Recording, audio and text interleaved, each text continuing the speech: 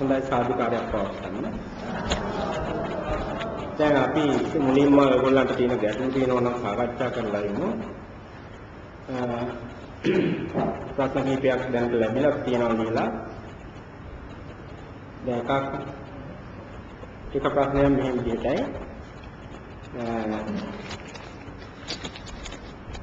සබ්බපාපස්ස අකරණම් වීමට ඔබ වහන්සේ උදේවරුේ දුන් කමතහන සක්මන් කිරීම ගැන. ඒක වරහන් ඇතුලේ තියෙන පොළොවට පාදයේ ස්පර්ශ වීම ගැන සිහිය ප්‍රවැත්වීම පමණක් ප්‍රමාණවත්ද? ඇත්තටම සතිපට්ඨානය කරන්නේ වර්තමානයේ ප්‍රායෝගික ක්‍රියාවකට සිහිය පැවැත්වීම විතරයි. මේ මූල ධර්මය. එතකොට දැන් වර්තමානයක් කියලා අපි අල්ලගන්න ඕනේ. ඇවිදිනකොට වර්තමාන අපිට තේරෙන වර්තමාන දෙකක් තමයි ඔය පොළොව ස්පර්ශ වෙන්නේ. ඒ කියන්නේ වම් කකුලට පොළොව ස්පර්ශ වෙනවා නම් ඒ ස්පර්ශය දැනෙනවා කකුලට. ඒ දැනෙනකොට ඒ වර්තමානය තමයි දැනෙන්නේ. වර්තමානයක් තමයි දැනෙන්නේ. අපි ලක්ෂණය වර්තමානයේ අල්ල ගන්න එක කකුලට අවධානයෙන් හිටියට කාලයක් පුරුදු වෙලා පුරුදු වෙලා අපි යන්නේ කොහෙටද? ඒ හරි තැනට යනවා. ඒකින්ද මෙතන අවධානය තියෙන්න ඕනේ මේ කියන විදිහටමයි. ඒ කියන්නේ පොළොව ස්පර්ශ වෙන එක ගැනයි අවධානය. හැබැයි අවධානය කියලා අපිට වර්ධින තැන් අනන්තයි. දැන් අපි භාවනා කරනකොට හිතෙන්න පුළුවන් එහෙනම් මේ කියන්නේ බුදුහාමුදුරුවෝ නැත්නම් මේ භාවනාවෙන් පැහැදිලි කරන්නේ මේ පොළොව ස්පර්ශයෙන් දැනෙන දේ ගැන පරිේෂණයක් කිරීමයි කියලා. එතෙන්ට යන්න එපා. මේ දැනෙන ගැන දැනෙන එක ගැන අපිට මොනවා හරි අලුත් දෙයක් හොයාගන්න කියලා කියනවා කියලා හිතන්න එපා. එහෙම එකක් නෙමෙයි කියන්නේ. තේරුණාද? දැන් අපිට හිතෙන්නේ මේක අපි මෙච්චර කල් කරලා තියෙන්නේ මේ ජීවිතේට පරිේෂණයක්. ඉගෙන ගන්නවා කියලා අපි කරන්නේ කොහොමද? දැන් ඔයගොල්ලෝ කියන්නේ යන්නේ. ඒ පදමේ එනකම් කරේ මොකක්ද? පරිේෂණය. දැන් මේකේ පදන්නේ. පරිේෂණයක් නැහැ. ඔයගොල්ලන්ට ඕනේ අර වර්තමානයේ මේ පොළවේ වදින එක ගැන අවධානයෙන් ඉන්න පුරුදු වෙනවා. මේ පුරුදු වීම තුළ බහුලීගත වීම තුළ පුදු වර්තමානයක් ග්‍රහණය වෙනවා තනක් එනවා. අන්නේ තන තමයි සචිත්ත පරියෝධපණං කියන පත්වයට අපි හැදෙන තැන. එතකන් කරන්න පුහුණුව. ඒකින්ද වෙන දෙයක් ගැන හිතන්නේ නැතුව ඒ අවධානයෙම ඉන්නේ ඒක විතරයි කරන්නේ. අපි තවදුරටත් මේවා මේ දවස් කීපය තුන මේ ගැන පැහැදිලි වෙයි විවිධ ප්‍රශ්න වලින් ඔයගොල්ලෝ කරන්නේ වේ. පරේෂණයක් කියන හිතන්න එපා. ඕකන වරදින තැන. මොකද පොත්වල තියෙනවා හුඟක් අය කියලා දීලා තියෙනවා අපිට මෙහෙම ඉන්න මෙන්න මෙහෙම දෙයක් දැනේ. දැනෙන්නකම් ඉන්නේ. එහෙම එකක් නෙමෙයි මේ කියන්නේ. ඊට වැඩිය වෙනස් කතාවක්. සතියේ ඒක දෙයකට එක දෙයක් සතියකට කය කායික ක්‍රියාවක් අල්ලගන්න කරන උත්සාහයක් විතරයි. ඒ අල්ලගන්නේ දේ මොනවද කියලා හොයලා බලන උත්සාහයක් නෑ මෙතන. පරිශ්‍රණයක් නෑ. ඊළඟට ඒක ගැන හොයන මේ මේ විසක්ක ਵਿਚාර යොදන විදියක් නෑ. ඉස්සෙල්ලා සැලසුම් කිරීමක් නෑ. මෙන්න මෙහෙමයි කරන්න කියලා සැලසුම් කරලා කරන්නත් බෑ. ඔය ඔක්කොගෙම අහක් වෙන එක තමයි වර්තමානය කියන්නේ. පරිේෂණයක් තුළ වර්තමානයක් නැහැ. අපි මෙන්න මේ වගේ ගුණයක් ගන්නවා කියලා හිතනවනේ එතන වර්තමානයක් නැහැ. මේක වෙනම දෙයක්. ඒක ඒකනේ මේ වෙනම දෙයක් කියන්නේ මේකට යන්නක් පුළුවන් වෙන්නේ නීවරණය අටපත් වුණාම කියන්නේ. ඒකින්ද මෙතන අපි හදන දෙයක්, අපි හිතන දෙයක් නෙමෙයි කියලා හිතාගන්න ඒක තමයි භවනාවට සුදුසුම උපදේශය. ඔයගොල්ලෝ හිතන දෙයක් නෙමෙයි මෙතන බුදුහාමුදුරුවන්ගේ බලාපොරොත්තු. ඔයගොල්ලන්ට කිසි දෙයක් ඒ ගැන හිතන්න බෑ. ඔයගොල්ලන්ට තියෙන්නේ සිහියෙන් මේක කරලා බලන්න කාලයක් යනකොට මේ ධර්මයත් එක්ක ඔයගොල්ලන්ට තේරෙයි බුදුහාමුදුරන්ට ඕන දේ නේද මේක කියලා. ඒකේ තේරෙන්නේ බහුලීගත කරපුවම කාලය. ඉස්සෙල්ලා හිතලා ඔයගොල්ලන්ට කරන්න බෑ මේ දේ තමයි මම කරන්න ඕනේ. ඒක වැරදි. ඊළඟට ඒ ප්‍රශ්නේ මහනවා සතර හතිපට්ඨානයේ එක කමඨානක් පමණක් භාවනා කිරීම ප්‍රමාණවත්ද? අපහට අනුකම්පාවෙන් විමසා දෙන්න. මේ සතර හතිපට්ඨානයේ එක කමඨානක් දැන් හතර හතිපට්ඨාන සූත්‍රය ගත්තොත් කායානුපස්සනාවේ තියෙනවා කමඨහන් 14ක්. භාවනා ක්‍රම 14ක්. චිත්තානුපස්සනාවේ එකක් තියෙනවා. වේදනානුපස්සනාවෙත් එකක් තියෙනවා. ධම්මානුපස්සනාවේ පහක් තියෙනවා. එකතු කරපුවාම 21ක් තියෙනවා. එතකොට සතිපට්ඨාන සූත්‍රයේම බුදුහාමුදුරුවෝ දේශනා කරලා තියෙනවා භාවනා ක්‍රම 21ක්. මේ 21ම පටන් ගන්නකොට බුදුහාමුදුරුවෝ පෙන්වන්නේ පුණාච පරම් භික්ඛවේ කියලා. පළවෙනි එක හැර ඊගා දෙවෙනි කියන. ඒ කියන්නේ පුණාච පරම් භික්ඛවේ කියන්නේ නැවත දෙකක් කියමි. ඒ කියන්නේ එහෙමනම් එක භාවනා ක්‍රමයක් හරියට කරත් මේ ප්‍රමාණවත්. දැන් කායනපස්සනාවේ එක එකක් හරියට කරත් ප්‍රමාණවත්. ඒකේ ගොඩාක් ඒවා කරන්න ඕනේ නෑ. නමුත් දැන් ඔයගොල්ලන්ට එහෙම බෑ ඉන්න කවුරු හරි කියනවා ඔයගොල්ලෝ දැන් කායනපස්සනාව කරොත් ඕ සතරාතිපට්ඨානෙ නෑ නේද? කායනපස්සනාව විතරයි නේ ඔයගොල්ලෝ කරන භාවනාව. කෝ වේදනානුපස්සනාව, කෝ චිත්තං, කෝ ධම්මා. ඒතකොට ඔයගොල්ලන්ට හිතෙන ඇත්ත තමයි අපි එකයි කරන්නේ. එහෙම එකක් නෑ. මේක හරියට එක භාවනා ක්‍රමය එක අනුපස්සනාව කියන්නේ දැන්වැලක පුරුක් හතරක් වගේ එකක්. දැන් මේක දන්වැල කිව්වොත් සතරාතිපට්ඨාන මේකේ පුරුක් හතරයි තියෙන්නේ. දැන් එක පුරුකක් අල්ලගෙන කරන දේ තමයි භාවනාව. කායනපස්සනාව කියන පුරුක ඇල්ලුවොත් ඒකට සම්බන්ධ වෙලා තියෙන අනිත් පුරුක් තුනම. ඔයගොල්ලෝ කරන්න ඕනේ එකයි. ඔයගොල්ලන්ට උමනා නැහැ හොයන්න අනිත් මිනිස්සු කිව්වට අනික කරන්න කියලා යන්නත් එපා. තේරුණා නේද? බුදුහාමුදුරු කියපේකනේ අපි කරන්න ඕනේ. බුදුහාමුදුරු කියන්නේ එකක් කරපුවා. නමුත් දැන් අපි මේ මේ මේ වැඩසටහනේදී භාවනා ක්‍රම දෙකක් කියනවා. ඒ දෙකක් කියන්න හේතුව වර්තමානයේ ලෝකේ එතකොට වෙන බුරුමාදී දර්ශනාව තියෙන රටවල් වල හුඟක් වෙලාවට භාවිතා කරලා තියෙන ප්‍රායෝගික දේවල් බලලා ඔයගොල්ලන්ගේ මේ ජීවන ජීවිතයේ දැන් කරන සාමාන්‍ය මේ ජීවන රටාවක් තියෙනවා වර්තමානයේ. මේ රටාවට ලේසි ඔය සක්මන් භාවනාවයි ආනාපාන සතියයි දෙක එකට කරනවා. නමුත් ඒකෙන් වරද්දලා තේරුම් ගන්න බෑ ආනාපාන සතිය විතරක් කරත් ඇති මේකේ සක්මන විතරක් කරත් ඇති. තේරුණා නේද? එහෙම කරන්න ඕනේ ඔයගොල්ලෝ නෙමෙයි. ඒකටම කැප වෙච්චියයි. එහෙමනම් ඔයගොල්ලෝ කියවන ජීවිතයට ඔයගොල්ලන්ට වැඩි ඵලදායි ওই දෙක කර කිරීම තුල. ඒ සක්මන කරන්න ඕනේ ආනාපාන සතියට අනුගතව නෙවෙයි. ඒක මම පස්සේ වෙනකොට කියා දෙනවා. සක්මණෙන් අධ්‍යක්ීම් ගන්නකොට මෙතනින් එහා යන්න එපා සක්මන මෙතනින් නවත්තන්න කියලා. තේරුණා නේද? ඒ කියා දෙන්නේ එතනින් එහා සක්මණෙන් ඔයගොල්ලන්ට වාසියක් ගන්න බෑ. ගන්න පුළුවන් මෙහා දැන් සාමාන්‍ය තත්ත්වයේ කියලා ඒක ලොකු ඉස්සරහට ගියාම එන ප්‍රශ්නයක්. දැන් මේ අහලා තියෙන ප්‍රශ්නෙට විසඳුම් දෙන්න වෙන්නේ මේක එක භාවනාවක් කරපුවම ඇද්ද කියන එක බුදුහාමුදුරන්ගේ නියමයේ එකක් කරපුවම ඇති. තේරුණා නේද? එහෙනම් ඇයි අපි දෙකක් යොදාගත්තේ එකක් සක්මන අනික ආනාපාන සතිය අපි කියා දුන්නේ නැතව කියා දෙනවා පස්සේ ඇයි දෙකක් යොදනවා කියලා මම කිව්වේ. වර්තමාන ඔයගොල්ලන්ගේ මේ ජීවන සැලැස්ම වින්දා මේ ජීවත් වෙන රටාව හින්දා කරන්න ඕනේ වාසසහගත වැඩි මේ දෙක එකට ගියොත්.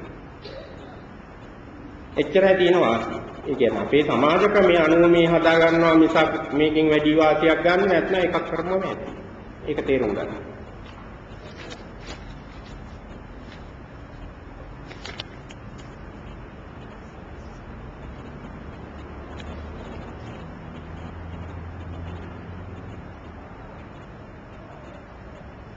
දැන් මෙහෙම අහන ප්‍රශ්නයක්. ආනාපාන සහ සක්මන් භාවනාව කරද්දී සිත පිට යන අවස්ථාවේදී කුමක් කළ යුතුද? මෙන්න මේක තමයි අපිට තියෙන ලොකුම ගැටලුව. ඒ කියන්නේ ආනාපාන සති භාවනාව නෙවෙයි ඕනම භාවනාවකදී සිත පිට යනවට කුමක්ද කරන්නේ?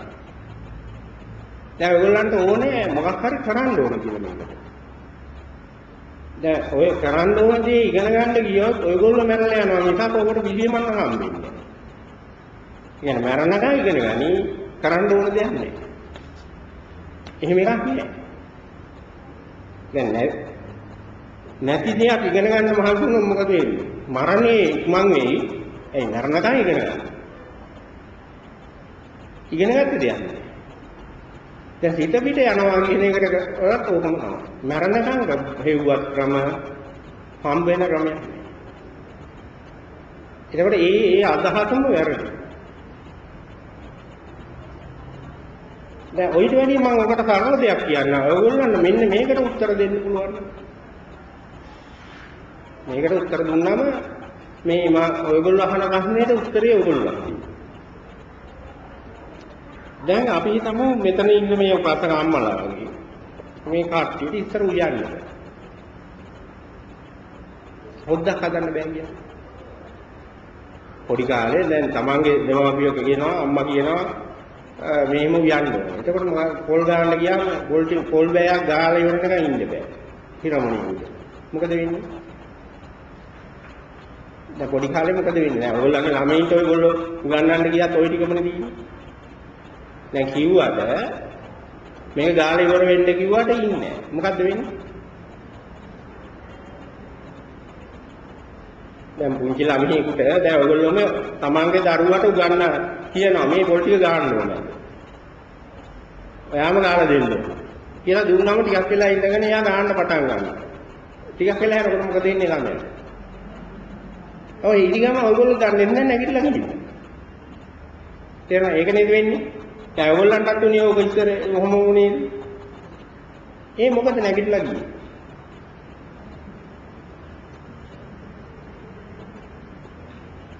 ඒකට හේතුව හොයාගන්න. හේතුව තමයි දැන් ඕන මිනිසෙකුට ඕන සතෙකුට හැම වෙලේම මේ අරමුණු වෙනවා කියන එක නවත්තන්න බෑ. තේරුණා නේද? මේක මේ ස්වයංක්‍රීයව වෙන ස්වභාව ධර්මයෙන් වෙන දෙයක්. දැන් එතෙන්දී ළමයාටත් එන්නේ එකේ කියව මතක් වෙනවා. සද්ද ඇහෙනකොට ඒවෙන් දේවල් වෙනවා. දැන් සෙල්ලම් කරනවා වගේ එකක් ඇහුනේ නැති එයා පොල් ගාන එක දාලා දුවනවා. තේරුණා නේද? දැන් එහෙම වෙනවා කියන්නේ අරමුණු එන එක තමයි හිත පිට යනවා. දැන් පොල් ගන්නවා කියන්නේ එකකට හිත තියාගන්න. ඒක බැරි වුණා කියන්නේ මොකද්ද? හිත පිටට යනවා කියන්නේ. එහෙම නෙමෙයි. දැන් ඉතින් දැන් බලන්න පොඩි කාලේ ඔයගොල්ලන්ට එහෙම බෑ දැන් බැරිද? දැන් හිතුව පොල් ගෙඩියක් නෙවෙයි ගෙඩි 10ක් තුනක් ගාලා නැගිටගෙන ඉනමයක් තියෙනවනේ. ඒ වෙන්නේ කොහොමද උමනාව තිබුණොත් නේද? දැන් මෙතන එහා පැත්තේ තියෙන හොටෙල් එකට පොල් ගාලා දෙන්න ඔයගොල්ලන්ට උමනාවක් නැහැ. ඔයගොල්ලන්ගේ ගෙදර තියනවා නම් උත්සවය පොල් ටික පොල් ගෙඩි 10ක් නෙවෙයි 20ක් ගෑවා ඇඟරි දෙනවද පිට පිට යනවද මොකක්වත් නැහැ නේද එතකොට? එහෙනම් මොකද්ද මෙතන තියෙන ප්‍රශ්නේ කියන බෑ. දැන් භාවනාවෙන් හිත පිට යනවට මොකද්ද කරන්නේ කියන එක හොයන්න බෑ. ඒකට පිළිතුරක් නැහැ. ඔයගොල්ලන් දැනට කරන අනිකුත් රාජකාරිය වලදී පිට ඉස්සර පිට ගියාම ඒකට මොකද්ද කරේ?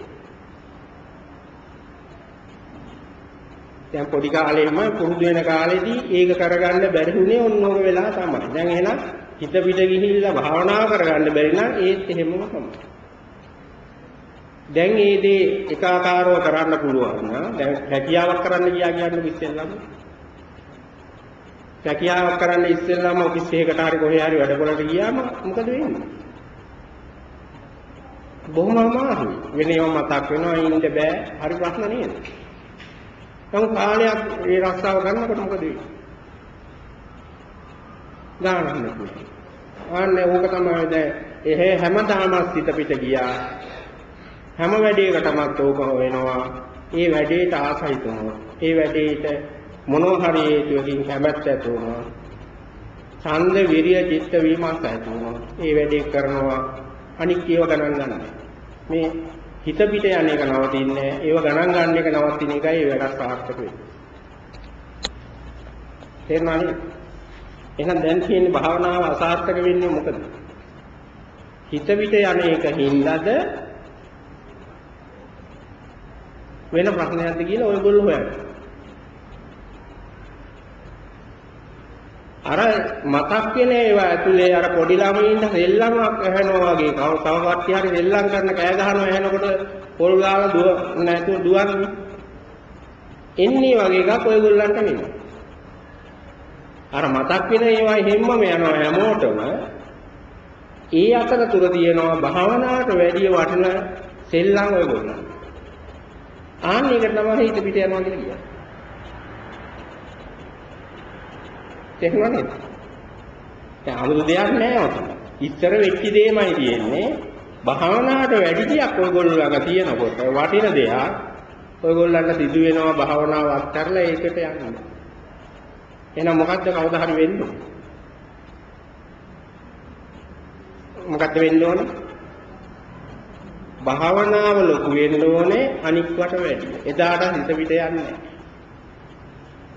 දැන් තියෙන හිත පිට යන හේතුව ඕක තමයි. ඔයගොල්ලන්ට ලොකු දේවල් තියෙනවා ඊට වැඩි. ආමිෂයේ ලොකු වෙලා පිළක්කයට භාවනාව නවත්තලා යන්න ඕනේ.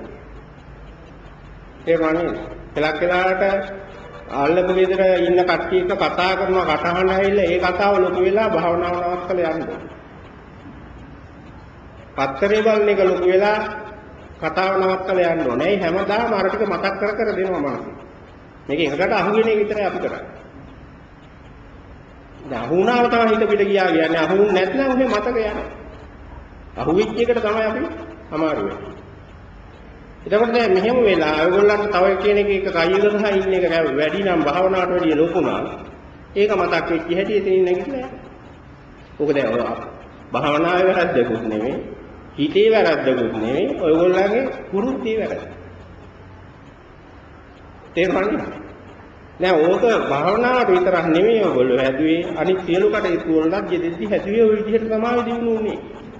දැන් යමෙක් එක වැඩක් හරියට කරනවාද ගොඩක් වෙලා පුහුණුවක් තියෙද ඒ පුහුණු වෙලා තියෙන ওই ක්‍රමයමයි.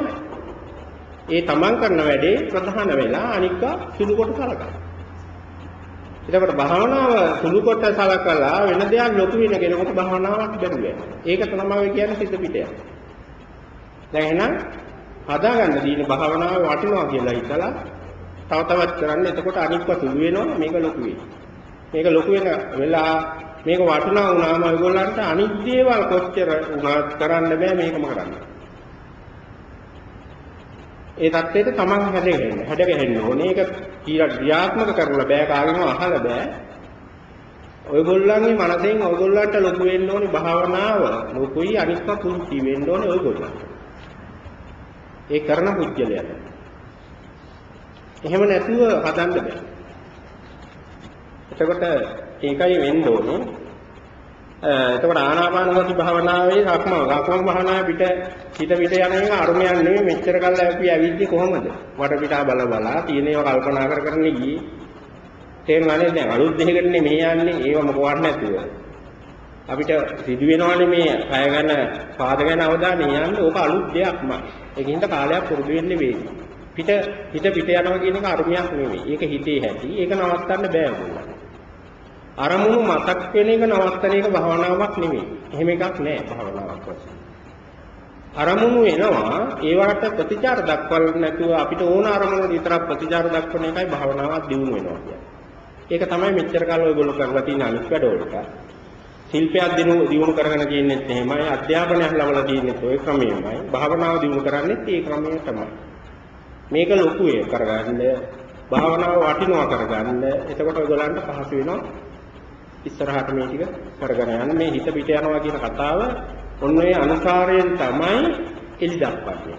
වෙන ක්‍රමයක් ඒක නෑ.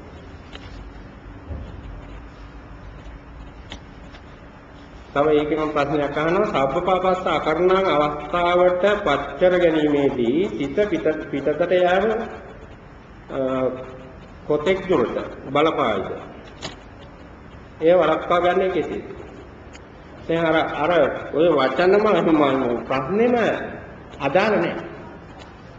දැන් සිත පිටට යනවා කියන එක මේ ලෝකේ නෑ ඒක. තේරෙනවද? සිත කරන්නේ එකම කාර්යයක්. කොච්චර හරි අරමුණු වෙනස් වෙනවා. ඒ අරමුණට කෑදර වෙන අපි එකට යන්නේ. තේරුණා නේද? ඒ කෑදරකම එක එක වට වැඩි වුණාම ඒක මතක් වුණාම යනවා. අර පුංචි ළමයිට දැන් ලස්සන මොනවා හරි බෝල් ටිකක් පෙන්නුවා. එක එක සෙල්ලම් බඩු පෙන්නුවා. දැන් ඉඳුල් කට ගන්නකොට එහෙම ඔයගොල්ලෝම කරන්නේ ළමයි පරීක්ෂා කරන්නේ. ගොඩක් ජාති තියෙනවා. කෑම් බීම තියෙනවා, පෑන් පැන්සල් තියෙනවා, බෝනික්කෝ තියෙනවා, සෙල්ලම් බඩු තියෙනවා. ළමයා වාඩි කරලා ගන්න කියනවා. දැන් ළමයා බලා ඉඳලා එකකට පල්ල ගන්න. ඉතින් ගත්තට පස්සේ ඔයගොල්ලෝ අනාවැකි කියනවා. අපේ පුතා දොස්තර කෙනෙක් වෙනවා. ඊට පස්සේ දැන් නම් ඉස්සරහින් නම් කියන්නේ දැන් මොනවා හරි කැවුම් ගෙඩියක් හරි මහ පෙරේතෙක් කියනවා. දැන් කියනවා නෑ හෝටල් හෝටලයක් දාන්න. නෑ හෝටල් දාන පුතෙක් කියනවා. ඔන්න ඔහොම අනාවැකි කියනවා. දැන් ඔන්න ඔය දෙල්ලම තමයි ඔයගොල්ලෝ කරන්නේ. කොච්චර හරි මේ අරමුණු එනවා එන එකේ ඔයගොල්ලන්ට ලැබී ගියව දුල්ලෙන්නේ. එල්ලිලා ගෑ ගහනවා හිත පිට ගියා කියලා. කවුද යන්නේ? Tamange කැමැත්ත. තේරුණා නේද? දැන් ඕක අඩු කරන්න තියෙන්නේ අර බුදුහාමුදුරුවෝ පෙන්නන්නේ ඕක හිම්මම තමයි. මේක මේ කාටවත් මට අඩුයි අනික් කෙනාට වැඩි කියන එකක් නෑ. හැම සත්‍යයටම පොදු වෙච්ච ධර්මයක්. දැන් බුදුහාමුදුරුවෝ පෙන්නනවා ඒ වෙනුවට විකල්පයක්. බුදුහාමුදුරුවන්ට ඕන එකේට කැමැත්ත ඇති කරගන්න. එහෙනම් බුදුහාමුදුරුවන්ට ඕන එක තමයි දැන් උදේ මං කිව්ව එකක් ඇවිදිනකොට පාද ගැන අවධානය කියන්නේ ඔන්න බුදුහාමුදුරුව හදලා දීපු කැමැති දෙයක්. බුදුහාමුදුරුව කැමති දෙයක්. දැන් ඕකට අපි කැමැත්ත ඇති කරගන්න පුරුදු වෙන්න ඕනේ. ඒකේ ඒ පුරුදු දෙන්න ශික්ෂාව පුහුණු. තේරුණා නේද? ඕක පුරුදු වෙනකොට ඔයගොල්ලන්ගේ අර කෑදරකම් ටික අඩු වෙයි. කාලයක් පුරුදු වෙනකොට අන්න එතකොට කරා. ඒකින්ද ඒ ඔයගොල්ලන්ගේ කෑදරකම් අඩු වෙනකම් පුරුදු වෙන්න. වෙන විකල්ප බෙහෙත් නැහැ. බෙහෙත් තියෙන්නේ අපේ අන අනවශ්‍ය දේවල් ඒවා ලොකු නෑ මේක මේ අපිට විතරක් වෙන දෙයක් පොදු දෙයක් නැත්නම් Tamanට විතරක් වෙන දෙයක් කියන අදහස් පහක් කරන්න. ඒවා ධර්මය අහලා හක් කරගන්න. අර භවනා ආරමුණට විතරක් කැමති වෙන කාලයක් ඒවි අනාගතේ. වර්තමානයේ ඉන්න එක පාරට පුහුණුවෙන් ඉන්න. පුහුණු වීමෙන් එන්නේ ඒක කොයිතරම් දුරට පුහුණුවෙන් එනවද කියලා දන්නවා නම් දැන් ඔයගොල්ලන්ට ඔයගොල්ලෝ කැමති නම් දැන් ලස්සනට අඳින්න කැමති වුණාම ඔයගොල්ලන්ට හිටියේ කණ්ණාඩිය ළඟ පැය දෙකක්. දැන් කෝ හිත පිට යනවා. කා මිනිස්සු පාරේ ඉඳලා ගෑ ගහනවා තව පරක්කුයි කියලා. ඒ මොකක්වත් නැහැ. හෙලෙන්නේ නැතුව අර දැන් තමන් කැමති නම් ඕන ගුණ ගොඩක් ඕනම දෙයක් ඔයගොල්ලන්ට කරන්නේ. දැන් එහෙනම් මොකද්ද මෙතන රහස කියලා ඉගෙන ගන්න. මේකට අකමැති බවයි මේ තියෙන්නේ. තේරුණා නේද? ඒක අවංකව පිළිගත්තම ප්‍රශ්නේ ඉවරයි. මගේ නැහැදිච්ච කමන්නේ තියෙන්නේ මේ භාවනාවට කැමති නැහැ වෙන දේවල් වලට කැමති කියලා. කියන එක නැහැදිච්ච කමක් කියලා හඳුනගත්ත හැටි ඔය නැහැදිච්ච කමකට කරන්න දෙයක් නෑ. තේරුණා නේද මේ? මේක තමයි අපි කරන්න ඕනේ දේ. ඔයගොල්ලන්ට කැමති දේවල් ඔය යහකට කරන්නේ වරුගණන් ඉඳලා. දැන් භාවනාවට ඉඳගෙන ඉන්න බෑ. මෙහෙම හිටියත් මෙහෙ ආව පුටුවල ඔයගොල්ලෝ ඉඳගෙන. මොකද හුඟක් අය කියනවා අපිට භාවනා කරන්න බෑ කකුල් ගැක්කුමයි. පොන්ද ගැක්කුමයි. නමුත් Taman කැමති දේ කරනකොට පැය නෙවෙයි දවස් ගණන් එකට ඉඳගෙන ඉන්න. නෑ. එහෙම නේද? ඔය කිසි අමාරුවක් නෑ. දැන් අමාරු ඔක්කොම හැදෙන්නේ අපිට අපි අකමැති දේ කරනකොට විතරයි. හොඳටම මතක තියාගන්න. ඒ කියන්නේ ඔයගොල්ලෝ අමාරුයි කියනවා නෑ. යමක් එතන තියෙන අමාරුවක් නෙවෙයි ඔයගොල්ලෝ අකමැති. තේරුණාද? දැන් ඒක හදන්න වෙන්නේ මේකට කැමැත්ත හදන්න ආශ්‍රය කරන්න ඕනේ කැමැති වෙච්ච පිරිස් භාවනාව කරන අය අසුරු කිරීමෙන් බණ ඇහිීමෙන් ධර්ම සාකච්ඡා කිරීමෙන් ওই විදිහට තමයි මේ කැමැත්ත ඇති කරන්නේ. එකපාරට ඇති වෙන්නේ නැහැ. ඒකත් හිතන්න එපා මගේ සහජයෙන් ඇති වුණා කියලා ගන්න එපා. තේරුණා නේද? ඔයගොල්ලෝ ආශ්‍රය කරන පිරිස අනුව අ කියවන පොත්පත් අනුව ධර්ම සාකච්ඡාවෝ මේ කැමැත්ත වැඩි වෙනවා. මෙහෙමයි මේක හැදෙන්නේ. වෙන ක්‍රමයකින් නෑ.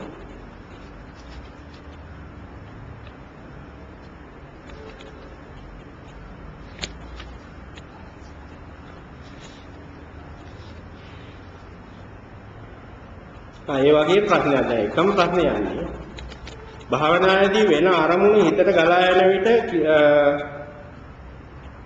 කල යුත්තේ කුමක්ද? මොකද කරන්නේ වෙන අරමුණු එන එක. දැන් වෙන අරමුණු එන එක නවත්තන්න යන්න එපා. එච්චරයි කරන්න ඕන දේ. දැන් ඔයගොල්ලෝ දැක්මවල භාවනාව කියලා වැරදි අර්ථකථන හදන්න එපා මෙන්න මේකෙන්.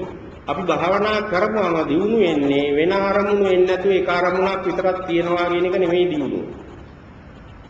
කවදාවත් මේ අරමුණු එක නවත්තන්න බෑ කාටවත්. තේරුණා නේද? දැන් කවුරු හරි කියනවා නම් මට මේ මම භාවනා කරලා දැන් හුඟා දියුණුයි මට වෙන මොකවත් මතක් වෙන්නේ නැහැ. භාවනා අරමුණු විතරයි මම ඉන්නේ කියලා එයා ගැන වෙනම හොයන්න වෙනවා. මොකද රහතන් වහන්සේටත් බැරි වැඩක් ඒක.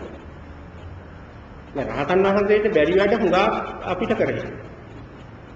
එච්චර අපි දාගෙන් දිනු කියලා අපි හිතනවා. මේ අරමුණු වෙනවා කියන එක ලෝකයේ සත්‍යයක ඉන්නවාද ඒ සත්‍යයට අදාකාලික සාධාරණ දෙයක්. තේරුණා නේද? ඇහැ අරගෙන ඉන්නවා නම් ඇස් දෙක දුර්වල නැත්නම් පේනවාමයි. ඇහැ අරගෙන ඉඳලා පේන්නේ නැහැ කිව්වෝ එයා පිස්සේ. තේරුණා නේද? කන් දෙක තියෙනවා නම් දෝෂයක් නැත්නම් ඇහෙන්නේ නැහැ කිව්වොත් එයාත් පිස්සේ. දැන් ඔය වගේ මනස තිබිලා අරමුණු වෙන්නේ නැහැ මතක් වෙන්නේ නැහැ කිව්වොත් එයාත් පිස්සේ. මොකද රහතන් වහන්සේටත් ඕක වෙන්නේ ඕකමයි වෙන්නේ. අපිට වෙන දෙයමයි වෙන්නේ. නමුත් වෙනස තියෙන්නේ මොකද්ද? අපිට මේ පේන පේන දේෙන් අපිට පෙලක් ඒවා හොඳයි පෙලක් ඒවා නරකයි. පේන්නේ. ඇහෙන ඒවා ගත්තොත් පෙලක් ඒවා හොඳයි පෙලක් ඒවා නරකයි. මතක් වෙන ඒවා ගත්තොත් සමහර ඒවා හොඳයි සමහර ඒවා නරකයි. ඔන්නේ ભેදය සම්පූර්ණයෙන් අහක් වෙච්ච කෙනා රාතන් වහන්සේ ඉච්චරයි. දැන් ඔයගොල්ලොත් මහන්සි ගන්නවා භාවනා කරා අවුරුදු ගණන් අපි මට මෙලෝදියක් දැනෙන්නේ නැහැ දැනෙන්නේ අරමුණු විතරයි. එහෙම භාවනාවක් බුදුහාමුදුරන්ගේ නැහැ. තේරුණා නේද? එහෙම එකක් වෙලා හරියන්නේ නැහැ මේ වැඩේ ඉස්සරහට යන්න. මේ සචිත්ත පරියෝධමනන් කියන්නේ එහෙම එකක් නෙමෙයි. කුසලස්ස උපසම්පදා කියන්නේත් එහෙම එකක් නෙමෙයි. එහෙම ඒ වගේ අදහසක් ඔයගොල්ලෝ හදලා තියෙන්නේ මේ ඔයගොල්ලන්ගේ. ඒ කියන්නේ අපි නිකන් හිතලා.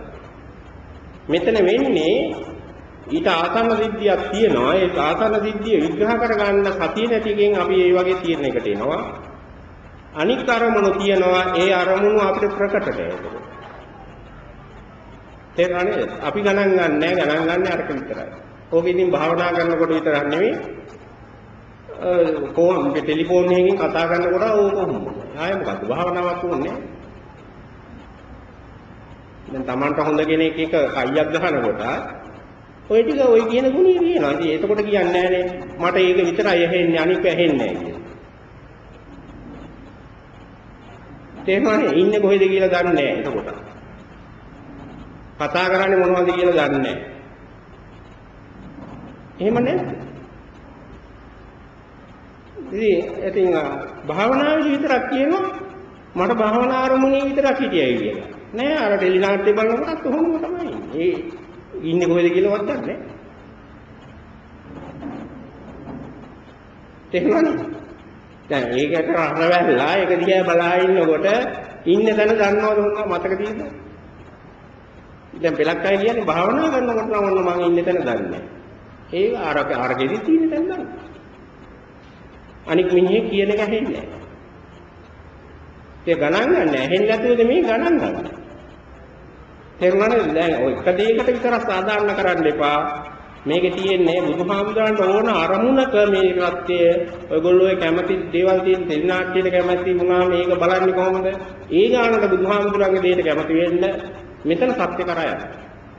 අපි කැමති දෙයක කරා දිගට ගියාම සංසාරයක් කොච්චරද මේකේ තියෙන වෙනස? අපිට කැමති දෙයක ඉදිරියට යනවා නම් අනික් වමතක කරලා සංසාරයක් ඇතිවෙනවා. බුදුහාමුදුරුවෝ හොයාගත්ත දෙයක හරහා මේකේ ඒ කාර්මණක ඉන්නකොට සංසාර විමුක්තියකට යනවා. ඕක තමයි මේ කියා දෙන පාඩම. බුදුහාමුදුරුවෝ කියා දෙන්නේ. එතකොට මේ ප්‍රශ්නේ අහුවම මෙහෙමයි ගන්න වෙන්නේ. භාවනාදී වෙන අරමුණු හිතට ගලා එන විට කලෙත්තේ කුමක්ද? මොකක් කරන්න එපා. තව භාවනා පුරුදු කරන්න භාවනාව ලොකු වෙනකන් තමයි. තේරුණාද? කවදා හරි භාවනාව වටිනා වුණෝ අනිත් දේවල් වලට වැඩිය එදාට අර අරමුණු ආවා කියලා වැඩක් නෑ. භාවනාවේමයි ඉන්නේ. එතකන් ඒකට යන්න ඕනේ. එතකොට එච්චර ගොඩක් කල් යන්න ඕන නම් ඊට කලින් භාවනාවේ වටිනාකම ගැන අපි කතා බහ කරලා සාකච්ඡා කරන්න අවශ්‍ය වෙනවා. ඒක තමයි කරන්න තියෙන්නේ.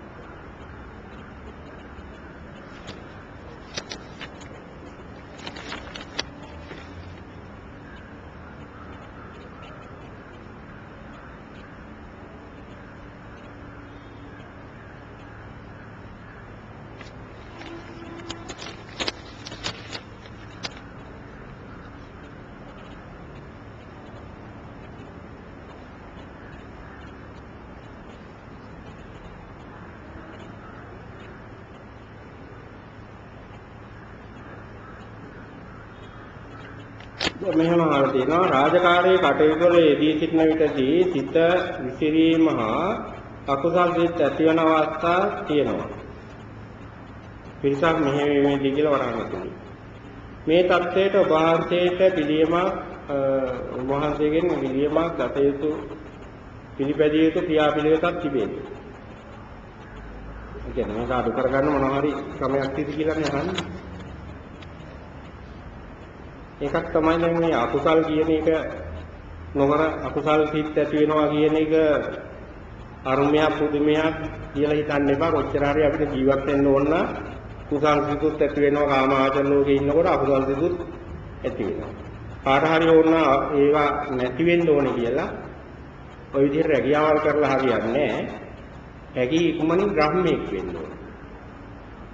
එහෙම නේද? මේක නැති කරන්න තියෙන විදිහ නම් බ්‍රහ්මීෙක් වෙන්න ඕනේ. දැන් බ්‍රහ්මයාට නෑ කුසල අකුසල. තේරුණානේ දැන්. නමුත් දැන් ජීවත් වෙන්න හැකියාවක් නැතුව ජීවත් වෙන්න බෑ. බුදුහාමුදුරුවෝ පෙන්නනවා ජීවත් වෙන්නේ නැත්නම් සත්‍ය දැනගන්නවත් බෑ. නෑ සත්‍ය චතුරාර්ය සත්‍ය දැනගන්න ප්‍රධාන සුදුසුකම මොකද ජීවත් වෙන්න ඕනේ. එතකොට දැන් ගිහියෙක් විදිහට ජීවත් වෙන්න නම් හැකියාවක් කරන එක නොකර ඉන්න බෑ. ඒක දැන් රැකියාවක් වීම නෙවෙයිනේ මේකට ඔයගොල්ලන්ගේ විසඳුම. තේරුණානේ? දැන් ඊට පස්සේ විසඳුම තියෙන්නේ ඇත්තටම අපි ටික ටික රැකියාවක් කරන ගමන් නිදහස් වෙලාවේදී රැකියාවත් ආවේදී නෙමෙයි ඒකත් ඒකට කොටකමක් වෙනවනේ. දැන් රැකියාව කරන ගමන් ආගමික දේවල් කරනවා අපි නිවාඩු දාලා අවර නිවාඩු දාලා දානවා කියලා. ඒතර පන්සිල් ගන්නවා කියලා අපිට තේරෙන්නේ. නෑ නේ එහෙමනේ අපි වැඩ කරන්නේ. දැන් අපි රැකියා කරනවා අසං කරනවා දවස අසං කරලා මාළගයක් හරි අනුන්ගේ දානයක් හරි කියලා ඒගොල්ලන්ට උදව් වෙන්න යනවා කියලා දැන් 4:30ට පිටත් වෙන්න ඕනේ එක දෙකට විතර අසං ගහලා යනවා 4:30. දැන් යන්නේ කොහෙද දාන ගෙදරට හරි බණ ගෙදරට. තේරුණාද මම මේ මේක නෙවෙයි කියන්නේ මේක වෙන තව ප්‍රශ්නයක්. දැන් එහෙම ගියාම දැන් මොකද වෙලා තියෙන්නේ? අර දානේ දානගම් වැඩි ලැබෙන්න ඕනේ හොරා කරපු එක. පන්සිල් කඩපු එක ඒක ආනිසංස ලැබෙනවා. අපි හිතන්නේ නැතුව උනාට වෙන්නේ ඒක තමයි. ඒ හොර පන්සිල් කඩලා තියෙන්නේ කොහොමද? අර වැරදි නෑ ඔයගොල්ලෝ අර කියාවෙන් කඩියක් දෙන්නේ රජයේ හරි කවුරු හරි වැඩ කරපු කාලෙදී ඒක වංචා කරලා නේද යන්නේ. ඒක ප්‍රබල මොයිද? දානි ආනිසංසද ප්‍රබල වෙන්න ඕනේ කවදා හරි. හොරගම් කරපුවේ ආනිසංස. ඔව් එන්නේ එහෙම ඒවා අපි කරනවා. තේරුණානේ? දැන් ලාහනේ ගෙදර ගියාට කමන්නේ එහෙම කියලා දැන් මේ දෙකේ ගියාල් කවලා තියෙනවා කෙලින්ම කියලා ගියාගේ මෙහෙම යනවා මම. කියලා කියන්න පුළුවන් රෝඩ්ලිව් දාලා මෙහෙම මොනවාරි සම්මත ක්‍රමයක් තියෙන එක එපා කියන එක නෙමෙයි මම මේ කියන්නේ.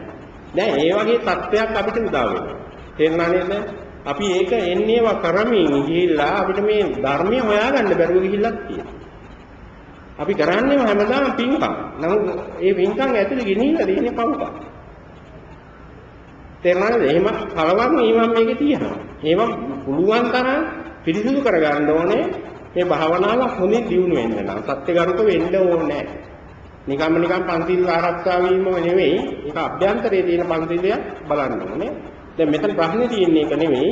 මම මේ අමතර දෙයක් කිව්වේ. දැන් සිත ඉතිරීම අකුසල් සිත් ඇති වෙන ආ කියන එක රැකියාවක් කරනකොට ඒක අරුමයක් පුදුමයක් නෙවෙයි. ඒක එහෙම තමයි කියලා ඒකේ සාධාරණේ හිතන්න. දැන් අකුසල් සිත් නැතුව වැඩක් කරන්න පුළුවන් කියන එක හිතන්න එපා. අපි පුරුදු වුණොත් මේක අඩු කර හැකි කියලා හිතන්න භාවනාවක් වෙනම පුරුදු වෙලා ගෙවල් වල කරනකොට ඔය අකුසල් සිත් ප්‍රමාණය අඩු කර හැකි රැකියා පොලේදී. තේරුණා නේද? ඒ කියන්නේ ඒ අනික් අය කෙරෙහි මධ්‍යස්ථව බලන්න පුළුවන් වීම තුලයි ඒක වෙන්නේ. දැන් ඒක මේක වෙන විදිහකින් කියනවා නම් දැන් මෛත්‍රිය පුරුදු වීම තුළ දැන් මෛත්‍රිය කියන එක අපි ඔය කියන භාවනාවෙන් විතරක් වෙන එකක් නෙමෙයි.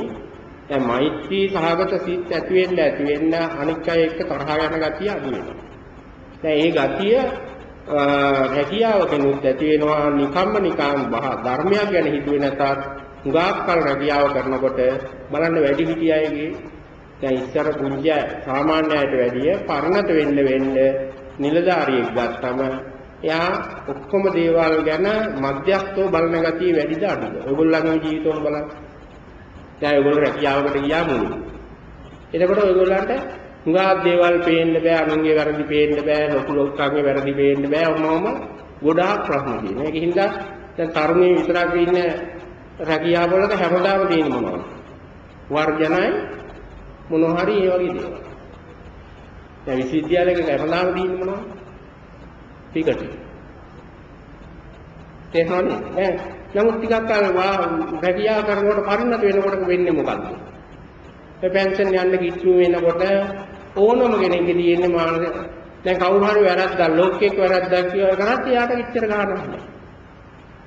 දැන් අලුතෙන් ආපු කෙනෙක් වැරද්දක් කරා ඕවා ඔහොම තමයි කියන්නේ. මොකද්ද මේ කිය ඕවා ඔහොම තමයි කියන්නේ. ඈ මොකද්ද ඒකේ අර්ථය? දැන් ඔයගොල්ලන්ගේම ජීවිතවල ඔයගොල්ලන්ට අත්දකින්න දේවල් මම මේ කියන්නේ. ඔයගොල්ලෝ පුංචි කාලේ හැදිරිච්ච විදිහටද වයසට අත්දැකීම් එනකොට හැදිරෙන්නේ. නෑ වෙනස්. මොකද්ද වෙනස? වෙනස ඉස්සර තරහ ගත්ත ඒවට දැන් තරහ ගන්න ප්‍රමාණය අඩුයි. ඉස්සර වැඩියෙන් ඕනකම් ඇති කරගන්න ඒවට ලෝභය ඇති කරගන්න ඒවට දැන් ආසාව ඇති කරගන්න ඒවා දැන් ආසාව ඇති කරගන්නවා අපි. ඕක නේද වෙලා තියෙන්නේ. දැන් ඕකෙන් නේද ওই ප්‍රශ්න ටික විසඳෙන්නේ. එතකොට රැකියා කොලේදී විසඳෙන්න ඕනේ ඕකයි. හරියට ඕනම භාවනාවක් වැඩුවොත් සතිපට්ඨාන භාවනාව විශේෂයෙන් වැඩුවොත් මේ ගතිය අඩු වෙලා යනවා නිකම්. අඩු වුණාම එයාට හොඳට රැකියාවක් කරන්න පුළුවන් හැකියාව ලැබෙනවා. එහෙනම් ඔයගොල්ලන්ට භාවනාව දියුණුද නැද්ද කියලා හොයාගන්න කරන භාවනාවක් දියුණුද නැද්ද කියලා හොයාගන්න තියෙන්නේ කාට හරි තිය කරන හැකියාව එපා වීමෙන් නෙමෙයි දියුණුව ඇති වෙන්නේ. අපි හිතන්නේ එහෙමනේ. දැන් භාවනා කරා මට රැකියාව එපා වුණා. ඕක වුණා කියලා එච්චර සාර්ථක නැහැ. කරන හැකියාව තව තවත් ආසයිතලා ඕන ප්‍රශ්නයකට මුහුණ දීගෙන කරන්න පුළුවන් හැකියාව වැඩි වෙනවා නම් අන්න භාවනාව දිනුවා. තේරුණාද මම කියපු දෙපැත්ත? දැන් අපි හිතන්නේ කොහොමද? හැකියාව එපා වීම භාවනාවේ දිනුනවා කියලා. නමුත් සැබෑ දිනුනෝ තියෙන්නේ ඔතන නෙවෙයි. සැබෑ දිනුනෝ තියෙන්නේ භාවනාවේ කොහෙද? කරන රැකියාව වෙනදාට වැඩිය සතුටෙන් කරන්න පුළුවන් හැකියාව වැඩි වෙනවා භාවනාව දිනුනොත්. දැන් ඔයගොල්ලන් ගෙදර කටයුතු දේවල් ගෙදර කරන ගෘහස්ත දේවල් උනත් සතුටෙන් කරන්න පුළුවන් හැකියාව වැඩි වෙනවා නම් ඔන්න භාවනාවකින් දියුණුවක් ලැබෙනවා. ගෙදර පේන්න බැරුව යනවා නම් දරුවෝ පේන්න බැරුව යනවා නම් ඉන්න අය පේන්න බැරුව යනවා නම් භාවනාවෙන් දියුණුවක් ලැබිලා නැහැ. අපේ අයට හුඟක් භාවනා කරපුවම ওই දෙවෙනි කාරණේ නේද වෙන්නේ. නේ හුඟක් අය කියන්නේ භාවනා කරලා ගෙවල් පේන්න බෑ. දරුවෝ පේන්න බෑ. ඒගොල්ලෝ කරදරයක්. එතන තියෙන්නේ භාවනාවේ දියුණුවක් නෙවෙයි. වෙනසක් තියෙන්නේ. ඒකට අහු වෙන්න එපා. ඔයගොල්ලෝ උනත් ඉස්සෙල්ලා මිම්මක් විතර ඉස්සරහට මිම්මක් විදිහට භාවිතා කරන්න. දැන් මේ කටයුතු, ගෙවල් වල කටයුතු වෙන්න පුළුවන්, රැකියා කටයුතු වෙන්න පුළුවන්, සමාජීය කටයුතු වෙන්න පුළුවන්. ඒවා වෙනකට වැඩිය සතුටින් කරන්න පුළුවන් හැකියාවක් එනවනම් භාවනා කරන කෙනෙකුට එයා දැනගන්න ඕනේ මේක භාවනාවේ දිනුනෝකින් ආපු එකක් කියලා. දැන් ඔයගොල්ලොත් මනින්න ඕනේ ඔය මිම්මේ. ඔයගොල්ලෝ මේ කාලේ දුනත් සියුම්ම බලන්න ඕන ඔන්න මේ පැත්ත මිසක් අනිත් පැත්ත බලන වැඩක් නෑ. භාවනා කරනකොට තමන්ගේ ගෙදර කටයුතු එදාට වැඩිය ඉස්සෙල්ලට වැඩිය සතුටින් කරන්න හැකියාව වැඩි වුණාද අඩු වුණාද කියලා හොයලා බලන්න. ඒක තමයි වටින්නේ. එහෙමනම් භාවනාවේ දියුණුවක් තියෙනව නැත්නම් නෑ.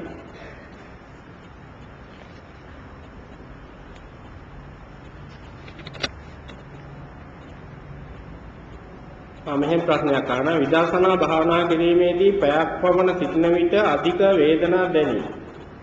එවිට ඉරියව් මාරු කරන්නේ කෙසේදයි පහදා දෙන ලෙස දෙපා නැමද ඉල්ලා සිටිනේ. මේ විදර්ශනා භාවනා කිරීමේදී කියන්නේ දැන් මොකද්ද විදර්ශනා කරන භාවනාව කියන එක. නැත්නම් විදර්ශනාව කියලා මේ මොකද්ද පැහැදිලි කරන්න කියන එක ඕනේ.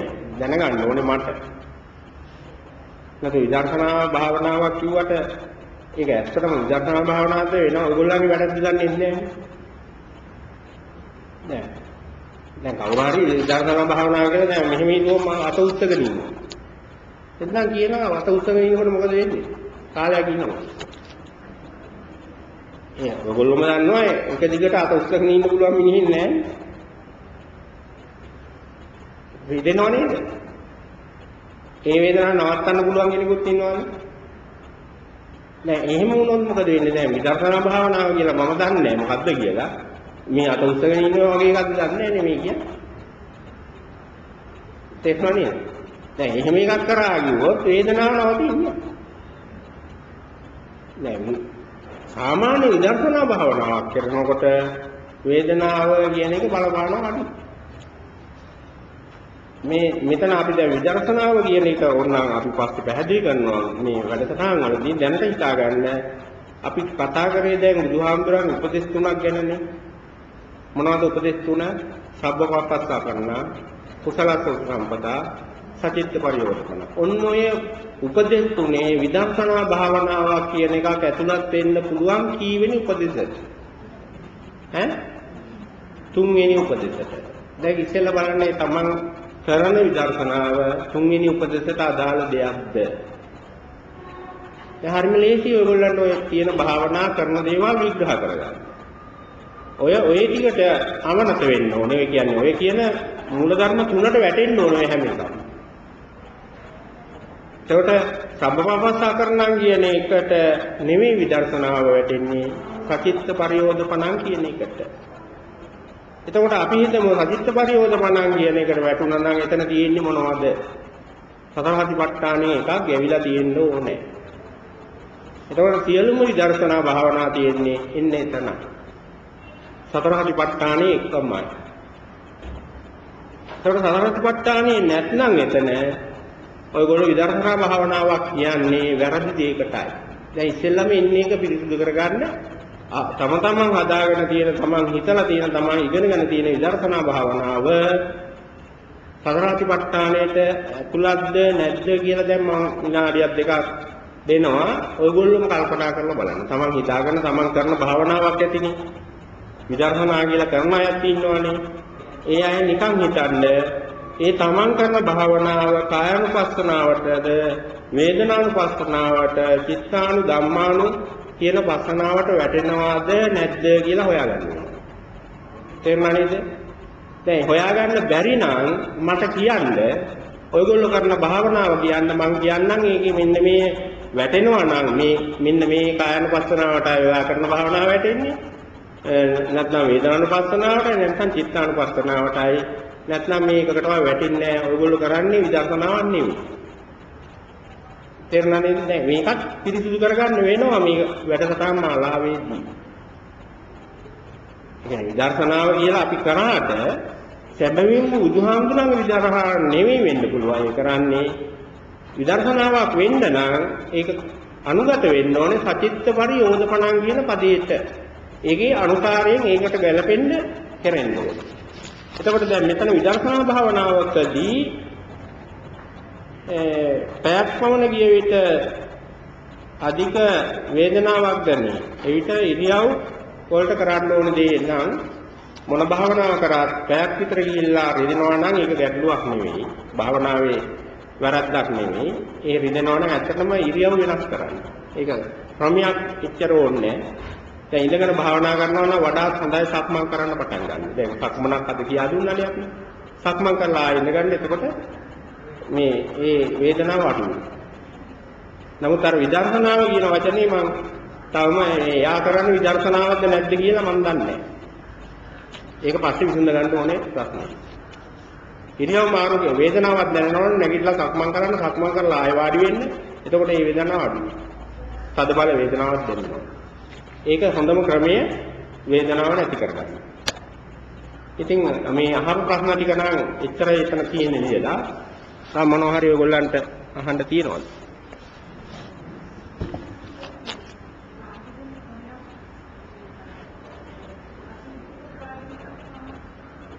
ඔව් දැන් භාවනා කරනකොට වාඩි වෙන්න ක්‍රමයක් අවශ්‍යමද කියන එක.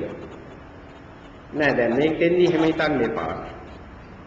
දැන් මේ සතිපට්ඨාන භාවනා හරි බුදුහාමුදුරන්ට ඕන භාවනාවක් කරනවා නම් ආනාපාන සති උනත් දැන් කරනකොට මුලදී ආනාපාන සතියේ මුලම පුහුණුව ගන්න. මේ ආස්වාද පාස්වාද කියන එක තමන්ගේ තේරුම් ගන්න පුළුවන් වෙන්න නම් කය ඉරියුව තියා ගන්න වෙනවා. නැතුව පසුකාලීන ඕන පහසු ඉරියව්වක වාඩි වෙලා භාවනා කිරීම තමයි සාර්ථක. දැන් ඉරියව් ඕන වෙලා ඉරියව් හරහා කරන භාවනා තියෙන්නේ දරුණු ලෙස කරන සමත භාවනාවයි. දැන් ඉරියව්ව ඕන වෙනවා. දැන් ඒ ඉරියව්ව ඕන වෙන්නේ නිකන් හිතන්නේ මෙන්න මේ වගේ ප්‍රශ්න වලට ඒව බලපාන. ඒගොල්ලන්ට බලපාන ඒවා නෙවෙයි. දැන් මේ වෛද්‍යවරුත් මෙතන ඇති, දන්නවා ඇති. දැන් සාමාන්‍යයෙන් එක ඉරියව්වක දවසක් පැය 24ක් හිටියොත් මොකද වෙන්නේ? සමහර ශරීර කොටස් වලට ලේ ගමන ගමනාගමනය අඩු වෙනවා. තේරුණා නේද? දවස් 21ක් හිටියොත් මරණම යන්නකොට. තේරුණා නේද? දැන් අපි දන්නේ නැතුවට ওই Hindu Hindu අයගේ භාවනා ක්‍රමවල ඒගොල්ලන්ගේ තියෙනවා මහා සමාධිය කියලා වර්තමානයේ තියෙනවා ඒවා. මහා සමාධියට සමාධියලා හිටිගම වර්තමානයේ බිහි වෙනවා. ඒ ඒ අයගේ තියෙනවා ඒ ඒ මහා සමාධිය කියන එකටපත් වුණොත් එයා දවස් 20 කිනුත් නැගිටිනවා. තේරුණාද? එතකොට ඒගොල්ලෝ පුංචි කාලේ ඉඳලා පොඩි ළමයාගේ ඉඳලාම ආසන ක්‍රමයක් පුරුදු කරනවා. ඒ ආසනේ වාඩි වුණා කියන්නේ අර කොච්චර වෙලා හිටියත් ඒ ශාරීරියේ ශාරීරික කොටස් වලට ආබාධ ඇති වෙන්නේ නැහැ. දැන් ඒවා එහෙම ක්‍රම හොයාගෙන තියෙනවා. පద్මාසන එක එක ඒවා කියලා තියෙන්නේ. ආසන කියලා යෝග ක්‍රම ගන්නන්න ඔය දැන් දිවසන් දාගෙන වගේ හැමතැනම. තේරුණානේ දාන්නේ ඉවේ කරන්නේ ඒක. දැන් ඔයගොල්ලන්ට එහෙම එකක් වුණා නෑ. ඔයගොල්ලන්ට මොන පැය 24 නෙවෙයි දවස් 24 මොන භාවනාවද? අවදා 8 වෙනකොට දීවික බලන්නේ. නේද දැන්? උදේ 12 12 වෙනකොට නාන්න යන්න එපා. ඕව මොකටද? ඕන ඊයකු ඉන්න. තේරුණා නේද? මේ ඔය මොන ඉරියව ඔළුවෙන් හිටගෙන ඉඳලා ඔයගොල්ලන්ට ඔය ඔච්චරලා ඉන්න බෑ. දැන් ඒ ඔය අරගොල්ල ඔළුවෙනුත් හිටගෙන ඉන්නවා. මොකද හේතුව මතක තියාගන්න අර දවස් 21ක ආහාරයක් නැතුව ඉන්න ගමනකට යන්න යනවා. ඒක දරුණු භාවනා තියෙනවා ඒගොල්ලන්ට. පුහුණු වෙන්න තියෙනවා. ඒකට ආසන ඕනේ. ඒගොල්ලන්ට ඕන ආසනයක් නැහැ. හරි ලොකු මහා ලොකු වැඩක් කරනවා කියන්නේ අපි මේ ආසනේ බැරි නම් ඉඳ ගන්න බෑ කියලා භාවනා කරන්නේ. දැන් ඇත්තටම යාට තියෙන්නේ ඉඳ ගන්න බැරි කම නෙවෙයි. භාවනා කියන එක වැඩක් නෑ කියලා යා ඒ එතකොටත් හිතලා ඉවරයි. ඒකට පිළියම කියන්නේ කොහොමද? මට මේ කකුල් කැක්කුම ආතරයිටිස් නේ කියන්න බෑ. ආතරයිටිස් නෙමෙයි භාවනාව නැවැත්තුවේ යා කමන්නේ නෑ. මගහරින්න කියන වෙන බොරුවක්. තේරුණාද මේ ඉරියව්ව මතක තියාගන්න වඩාත් හොඳයි අර ප්‍රචලිත ඉරියව්වක බිම වාඩිලා භාවනා කරනවා නම් තේරුණා නේද? ඒක මම කියන්නේ පොඩි කාලේ ඉඳලා පුරුදු වුණා නම් දැන් වෙනකොට ඔයගොල්ලෝ ඔහොම ඔය පුටු වල වාඩි වෙන්නේ නැහැ. මොකද හේතුව ඔයගොල්ලෝ දැකලා තියෙන අඩු ගන්න ඔය ධම්මදිව වන්දනාවේ ගියා. ඉන්දියාවේ ඉන්න අර රෙදි කඩේක ගෑනු කෙනෙක් ඉඳගෙන ඉන්නේ කොහොමද ඉන්නේ? ඈ කොහොමද ඉඳගෙන ඉන්නේ? පුටු දියනේ කඩවල. පුටු වල ඉඳ ගන්නෑ. ඔයගොල්ලෝ ඔය කියන මහා අමාරු මාසෙනේ ඉන්නේ ඒගොල්ලෝ ඉඳගෙන. එයි එහෙම වෙන්නේ.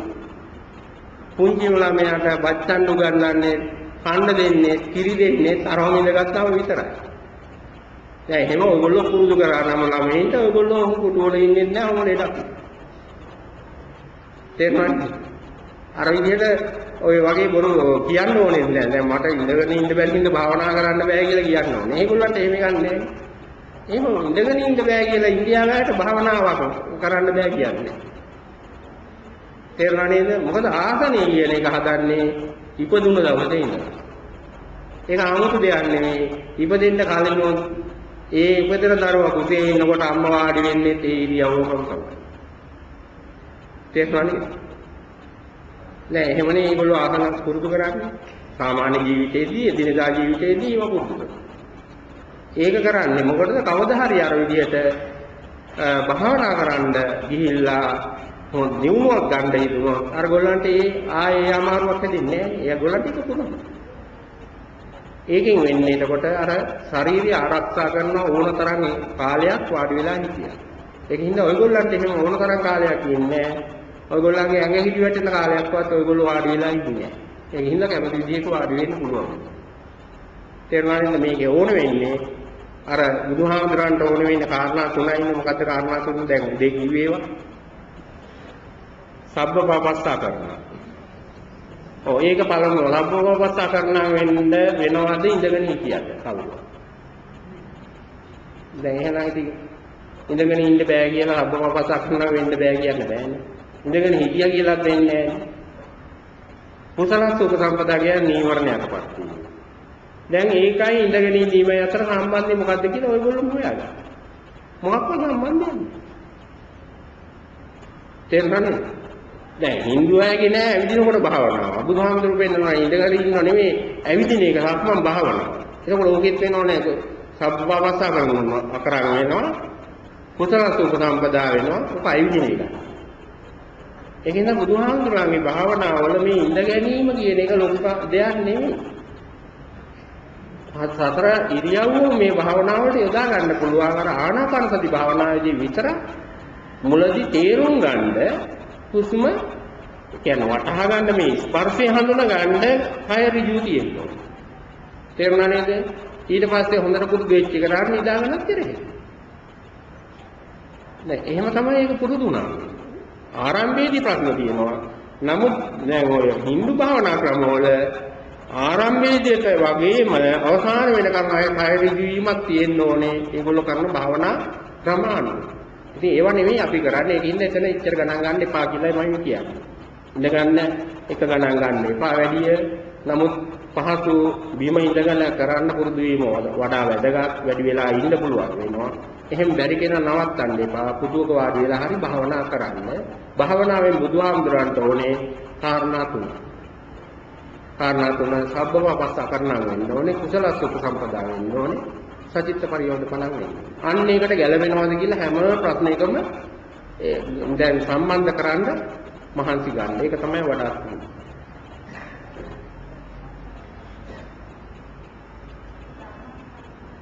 ඈ ධම්මානුපස්සනාව පැහැදිලි කරන්න. මේමයි දැන් ධම්මානුපස්සනාවක් ගැන මුලින්ම ධම්මානුපස්සනාවේ භාවනා ක්‍රම තියෙනවා පහ. බුදුහාමුදුරුවෝ. ඒ පහ ගැන අපි පස්සේ සම්පූර්ණ විස්තරයක් කරන මේ කියන්නේ කෙටි මේකෙන් දැන් ධම්මානුපස්සනාවකට අත ගහන්න පුළුවන් කෙනෙක් ලේසියෙන් හැදෙන්නේ නැහැ. කරන්න යන්න පුළුවන් භාවනාවක් නෙවෙයි ආධුනිකයෙකුට. ධම්මානුපස්සනාවට අත ගහන්න සුදුසුම කෙනා කියනවා නම් බුදුහාමුදුරනේ හොඳට පුරුද්දක් තියෙන්න ඕනේ රූපාවචර ධ්‍යාන. තේරුණානේ දැන් බුදුහාමුදුරන්ට හම්බුණා නම් රූපාවචර නීවරණ යටපත් වෙලා රූපාවචර ධ්‍යාන පුරුදු කරපු කෙනෙක් වුණොත් බුදුහාමුදුරුවෝ පෙන්වන්නේ ගෙලින්ම මේ ධම්මානුපස්සනාවට යනවා. දැන් අර දිත්තේ දිත්තමන්තම් භවිස්සති මුතේ මුතපත්තම් භවිස්සති ඔය ටී තියෙන්නේ. ඔය ධම්මානුපස්සනාව තමයි වෙන වචන වලින් කියන්නේ. තේරුණා නේද? එතකොට ධම්මානුපස්සනාව අපි ඉගෙන ගත්තට කමන්නේ අපිට පුහුණුවක් නැතුව නීවරණයටපත් කරන්න අත්දැකීම් නැතුව කරන්න යන්න නම් තේරුණා නේද? ධම්මානුපස්සනාව මොකද්ද කියලා ඉගෙන ගත්තට කමක් නැහැ. දැන් මොකද්ද නොකර ඉන්නේ? කරන්න යන එක නම් බයයි. වැඩක් නෑ. කරන්න බෑ. කරාට දැන් අනික් අරමුණු වගේ තේරෙන්නේ නැහැ. ඒකේ තියෙන නීවරණ ටික තෝරගන්න පුළුවන් වෙන්න ඕනේ එකක් ගන්න. දැන් මෙන්න මේ අවල් නීවරණේ මම ළඟ තියෙන්නේ. දැන් ඒ නීවරණේ නැහැ. ওই වගේ මනසේ හැකියාවක් තියෙනවා. ඔන්න පළවෙනි භාවනාව තමයි නීවරණ පහ වෙන් කරන්නේ. ඊට පස්සේ තියෙන භාවනාව පංචස්කන්ධය වෙන් කරනවා. දැන් පුළුවන් ද අපිට වෙන් කරන්න. දෙවෙනි භාවනා ක්‍රමයේ ඊට පස්සේ පංචස්කන්ධය හදන ආයතන ආය වෙන් කරන එක. ඊට පස්සේ බොජ්ජංග ධර්ම වෙන් කරන එක. හතරවෙනි භාවනාව. අන්තිම එක චතුරාර්ය සත්‍ය වෙන් කරන එක. දැන් ඕක කරන්න පුළුවන් කෙනෙක් ඉන්නවද? ඉන්නවා නම් ඉන්නේ මේක වැටෙන්නේ මේ භාවනාව එක්ක මාර්ගවල ආභියේ ඉදිරියේ වගෝවා වෙච්ච කෙනාට දැන් සකදාගාමි අනාගාමි අරිහත්ත්වගේ දේවල් ලැබෙන්නේ ධම්මානුපස්සනාව වඩුවම තමයි. ඒක යාගේ වැඩෙනවා. නැත්නම් ආධුනික මට්ටමේ ඉන්න ලෞකික සත්‍යයෙන් නම් ධම්මානුපස්සනාවට අත ගන්න ඕනේ. හොඳට නීවරණ යටපත් වෙච්ච මනසක් හදාගත්තේ පළපුරුදු සමත ධානය තිබිච්ච කෙනෙක්. ධම්මානුපස්සනාව නාර ටික. තියෙන්නේ මොනවද? නීවරණය ගැන මේ මෙනෙහි කිරීම, හඳුනා ගැනීම හා ඇති බව නැති බව තේරුම් ගැනීම, පංචස්කන්ධයේ කොටස් හඳුනා ගැනීම, ආයතන වල කොටස් හඳුනා ගැනීම, බොජ්ජංග ධර්ම වල කොටස් හඳුනා ගැනීම, චතුරාර්ය සත්‍ය හඳුනා ගැනීම. ඔක තමයි ධම්මානුපස්සනාව. ඒක ගැඹුරුයි ඈ. ඒක මම මේ එහෙමම කියලා දැම්මේ ඒක කරන්න එහෙම යන්න ඕනේ නැහැ කියන එක. අපිට කරන්න පුළුවන් එකක් නෙමෙයි. එහෙම හිතන්නවත් එපා. ඊට වැඩිය අපිට අපි භාවනාවක් කරනකොට අරක වැඩිනවා. ඔයගොල්ලෝ සක්මන් කරනකොට දිනු වෙනකොට ධම්මානුපස්සනාවයි. ඒනකොට අපේ අර නීවරණයටපත් වෙලා අර හොඳටම කුසල සුඛ කියන ගුණය පිහිටලා එන්නේ කාලෙකදී. තේරුණා නේද? නිකන් ගත්තට බෑ. නිකන් කරන්න ගිහින් ඒක අපි උපදෙස් දුන්නත් වැරදි. ඔයගොල්ලන්ට නොමග යන වචනයක් එතකොට කියවෙන්නේ. ධම්මානුපස්සනාව පටන් ගන්න එපා කියන එක තමයි කියන්න තියෙන්නේ. ධම්මානුපස්සනාව මම විස්තර කරනවා වෙනම. ඒ විස්තර කරන්නේ ඔයගොල්ලන්ට මේ වැඩසටහන් ටික ටිකක් එහාට ගියා.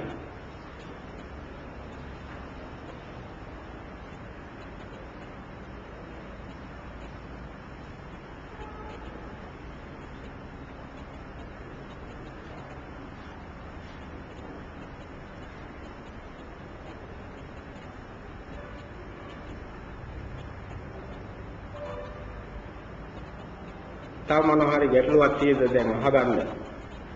निराකරණය කරගන්න මොකද මේ අපි කරන භාවනාව පිළිසිදු වෙන්න ඕනේ. නැත්නම් වෙන ඒවායි අපිට හිතට ඒක කරදරයක් වෙලා කෙරෙන්නේ.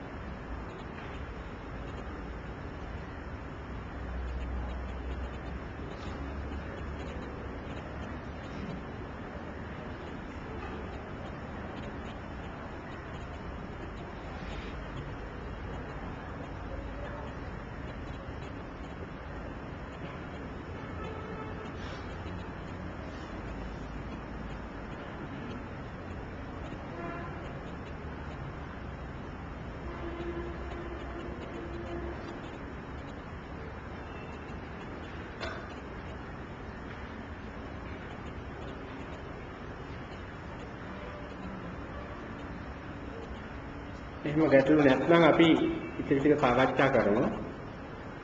අපි ධර්ම කාරණා විස්තර කරපු ටික.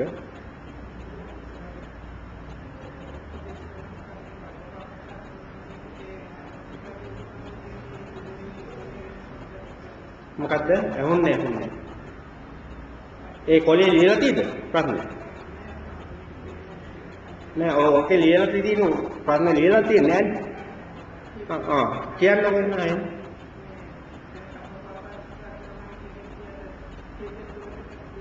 Oh, oh. Ah, ah. හරි දැන් අනිකයටත් ඇහෙන්නේ නේ. මම මත් එයා අහන්නේ මම උදේ වගේම ගියා දුන්නේ මොකද්ද? සබ්බවවස්සා කරණම් කියන ගාථාව. ඡේද තුනකට වෙන් කරා. ඒ කියන්නේ බුදුහාමුදුරන්ගේ උපදේශ මාලා තුන. කමඨහන් තුන.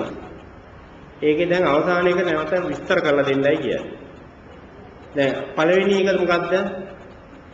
සබ්බවවස්සා කරණම් කියන එකේදී පළවෙනි එක සියලු පව් අහක් වෙනවා කියලා බුදුහාමුදුරුවන්ගේ නිගමනය මොන වගේ තැනකදීද කියලා ඔයගොල්ලෝ ඉගෙන ගත්තා. මොකද්ද නිගමනය? දැන් මේ මොහොතේ අපි මගේ සියලු පව් අහක් වෙලාද තියෙන්නේ මනසේ මේ මොහොතේ නෑ කියලා ඔයගොල්ලන්ට දැන් විශ්වාසයිනේ. ඔයගොල්ලෝ ළඟ නෑ. ඔයක වෙන්නේ කොයි වෙලේකද ඔයගොල්ලෝ ළඟටද? අන්න සමත භාවනා 40ක් තියෙනවා. 40න් ඕන එකක් මෙනෙහි කරන වෙලාවක සබ්බපාපස්සා කරන වෙනවා. ඒකනේ දැන් අපිට තියෙන්නේ. දැන් කුසල සුපසම්පදා කියන එක මොකද්ද? ඔව් නී ඒ භාවනාව තව දිගට කරගෙන යාම තුල නීවරණ පහම කාමච්ඡන්ද, ව්‍යාපාද, උද්ධච්ච, තීන මිද්ද, උද්ධච්ච කුච්ච, විචිකිච්ඡා කියන නීවරණ පහම යටපත් වෙන තැනක් එනවාද? ආන්නෙතෙන්දි තමයි කුසල සුපසම්පදා කියලා කියන්නේ. දැන් නීවරණ ගැන අපි වෙනම පස්සේ උගන්වනවා. ඒකයි එතෙන්දි ගන්න ඇත්තේ. දැන් නීවරණ යට පහම යටපත් වෙච්ච තැනක් ආවත් කුසල සුපසම්පදා. දැන් එතන ප්‍රශ්නයක් නැහැ නේද? ඊගා ප්‍රශ්නේ මොකද්ද තියෙන්නේ? සචිත්ත පරියෝධපන. දැන් මෙතන අපි අහලා තියෙන මොකද්ද? සචිත්ත පරියෝධපනං කියනකට අපි දෙන උත්තරේ මොකද්ද? විභාගයට ලකුණු ගත්තේ කොහොමද? ඒ වැරදි. එච්චරයි මේකේ තියෙන වැරද්ද. අපි නම් කියන්නේ සිත දමණය කර ගැනීම කියලා සුදුවෙන් කියනවා ඉතින්. සිත දමණය කරගන්න කියන එක. හැබැයි ඒකේ ගැඹුර සිත දමණය කරනවා කියන එක දැන් එක එක්කෙනා එක එක විදිහට කරනවානේ. දැන් ඔයගොල්ලන්ගේ දැන් මෙතන ගත්තොත් මේ බණහනකොට නිස්සද්දව බණහන. ඕක සිත දමණය කර ගැනීමක් නෙවෙයිද? දැන් මෙතනට ළමයි කැවිදින් කෑ ගහ ඇවිදිනවා හිටියන. එයා සිත දමණය කරලා නෑ ඔයගොල්ලෝ සිත දමණය කරලා බණහන. නමුත් ඕක වුණා කියලා නිවන් දකින්න කවුරුද? එහෙම වුණා නම් ඔයගොල්ලෝ දැන් මේ අහපු බණ ටික නිවන් දකින්න ඉන්නේ. දැන් මෙච්චර කාල ජීවිතේ කොච්චර බණහනද? ඔය විදිහට හැසිරලාදී. ඒක නෙමෙයි බුදුහාමුදුරුවෝ කියන්නේ මෙතන සචිත්ත සචිත්ත ඒ කියන්නේ මේ කියන්නේ සම්මා සතිය. සම්මා සතිය කියන්නේ මොකක්ද? සම්මා සතිය පිහිටවන්න කියලායි මේ කියන්නේ. තේරුණා නේද? සම්මා සතිය පිහිටවන්න.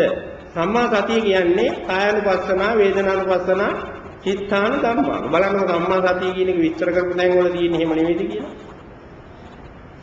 ඒ කියන්නේ වර්තමානයේට එන්න කියන එකයි මේ සතිත්ත පරියෝධපණං කියන්නේ. නම් හතර අතිපට්ඨානයට එන්න. සතර අතිපට්ඨානෙ පිහිටන්න වර්තමානයට එන්න අන්න ඒක තමයි සත්‍ය දකින්න ක්‍රමය. වර්තමානයේට ආවම උපාදාන නැති වෙනවා කියන එක තමයි බුදුහාමුදුරන්ගේ ධර්මය. ඒකට වර්තමානයේ අපිට හොයාගන්න මහන්සි වෙන්න වෙයි. ඒ කියන්නේ ප්‍රඥා ශික්ෂාව කියන්නේ. විදර්ශනා භාවනාව කියන්නේ ඔක තමයි. සතිත්ත පරියෝධපණං වෙන්න කරන මේ මේ පුහුණුව තමයි විදර්ශනා භාවනාව.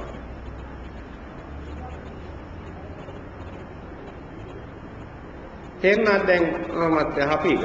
ඕක තමයි කියන්නේ. නැතුව අපි හිත තැම්පත් කිරීම හිත සකස් කරගත්ත එක නෙවෙයි කොහොම සකස් කරගන්නද? දැන් අපි හිතමුකෝ කවුරු හරි හිත සකස් කරගත්තා දැන් හොඳට භාවනා කරලා අරූපාවචර ධානය ගත්තා. කවුරු හරි. ඒක සචිත්ත පරියෝධපණක්ද නේ? ඒතර භාවනාවේ මෙන්න ඒක ගන්න. ඒක සචිත්ත පරියෝධපණක් නෙවෙයි. ඒ කියන්නේ ධානයක් වැඩුවා සචිත්ත පරියෝධපණන් කියන ගුණය නැහැ. මෙතන හතිත්ත පරියෝධපණන් කියන ගුණයේ තියෙන සතර සතිපට්ඨානයට ආවොත් විතරයි. වර්තමානයේ මේ හතරෙන් එකකට ආවොත් ඇති. එකකට ආවොත් ඇති. කායනුපස්සනාවට හරි වේදනානු චිත්තානු ධම්ම. ওই එකකට ආවොත් සතිත්ත පරියෝධපණන්.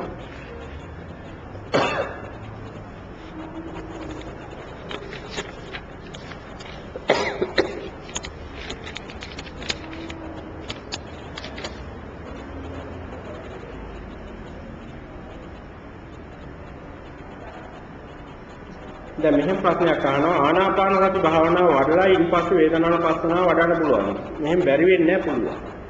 ඒතකොට වේදනානුපස්සනාවෙන් මොකද්ද වෙන්නේ කියලා දැනගන්න ඕනේ. ආනාපාන සති භාවනාවේ වෙන්නේ මොකද්ද කියලා දැනගන්න ඕනේ. දැන් ඔයගොල්ලන්ට ඒදී ආනාපාන සති භාවනාව ගැන ඉස්සෙල්ලා මම පොඩ්ඩක් කියන්නම්. මේකේ අපි චිත්‍රයේ වැරදි ආනාපාන සති භාවනාව. දැන් සමත කමඨහන් කීයක් තියෙද බුදුහාමුදුරන්ගේ 40ක් තියෙනවා. දැන් ඔය 40 ආනාපාන සති භාවනාව තියනවද නැද්ද? එතකොට සතිපට්ඨාන සූත්‍රයේ පළවෙනි පබ්බය ආනාපාන සති භාවනාව. එතකොට ආනාපාන සති භාවනාව විපස්සනා භාවනාව. මොකද සතිපට්ඨාන සූත්‍රයේ තියෙන හින්දා.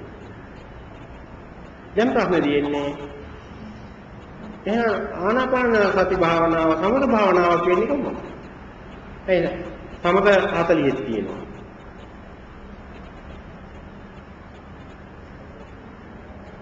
දැන් අනුස්සති 10ක් තියෙනවා එකක් ආනාපාන සති. සමත භාවනාව. දැන් ඔයගොල්ලෝ හිතාගෙන ඔයගොල්ලෝ හිතන්නේ එතකොට පෙලක් වෙලාවට ආනාපාන සති සමත භාවනාවක් වෙනවා පෙලක් වෙලාවට විදර්ශනා භාවනාවක් කියලා. එහෙමනේ වෙන්න වෙන්න ඕනේ දැන් මේකේ මේ අනුව නේද? දැන් ওই දෙක වෙන් කරගන්න වෙනවා. සාමාන්‍යයෙන් ඔයගොල්ලෝ හිතන්නේ ආනාපාන සති භාවනාව සමත භාවනාව. තේරුණේ? එතකොට සමත භාවනාව ඕන එකක් කරලා කායනුපස්සනාවට අධ්‍යය හැකි, වේදනානුපස්සනාවට අධ්‍යය හැකි, චිත්තානුපස්සනාවට අධ්‍යය හැකි, ධම්මානුපස්සනාවට අධ්‍යය හැකි. එතකොට ආනාපාන සති භාවනාව කරලා ගියයි. තේරුණානේ දැන් අසුභ භාවනාව මොන වගේ භාවනාවක්ද ඔය දෙතිස් කුණප ගැන මෙනෙහි කරන එක මොන වගේ භාවනාවක්ද සමතද විදර්ශනාද ඈ ඔතන තමයි දැන් තියෙන ගැටලුව. දැන් ආනාපාන සතිය වෙලක් වෙලාවට ගත්තොත් සම්මත වෙනවා. වෙලක් වෙලාවට ආ විදර්ශනා වෙනවා. දැන් මම ඒකට පිළියමක් දුන්නානේ. ආනාපාන සති භාවනාව හැම විටම සමතයි.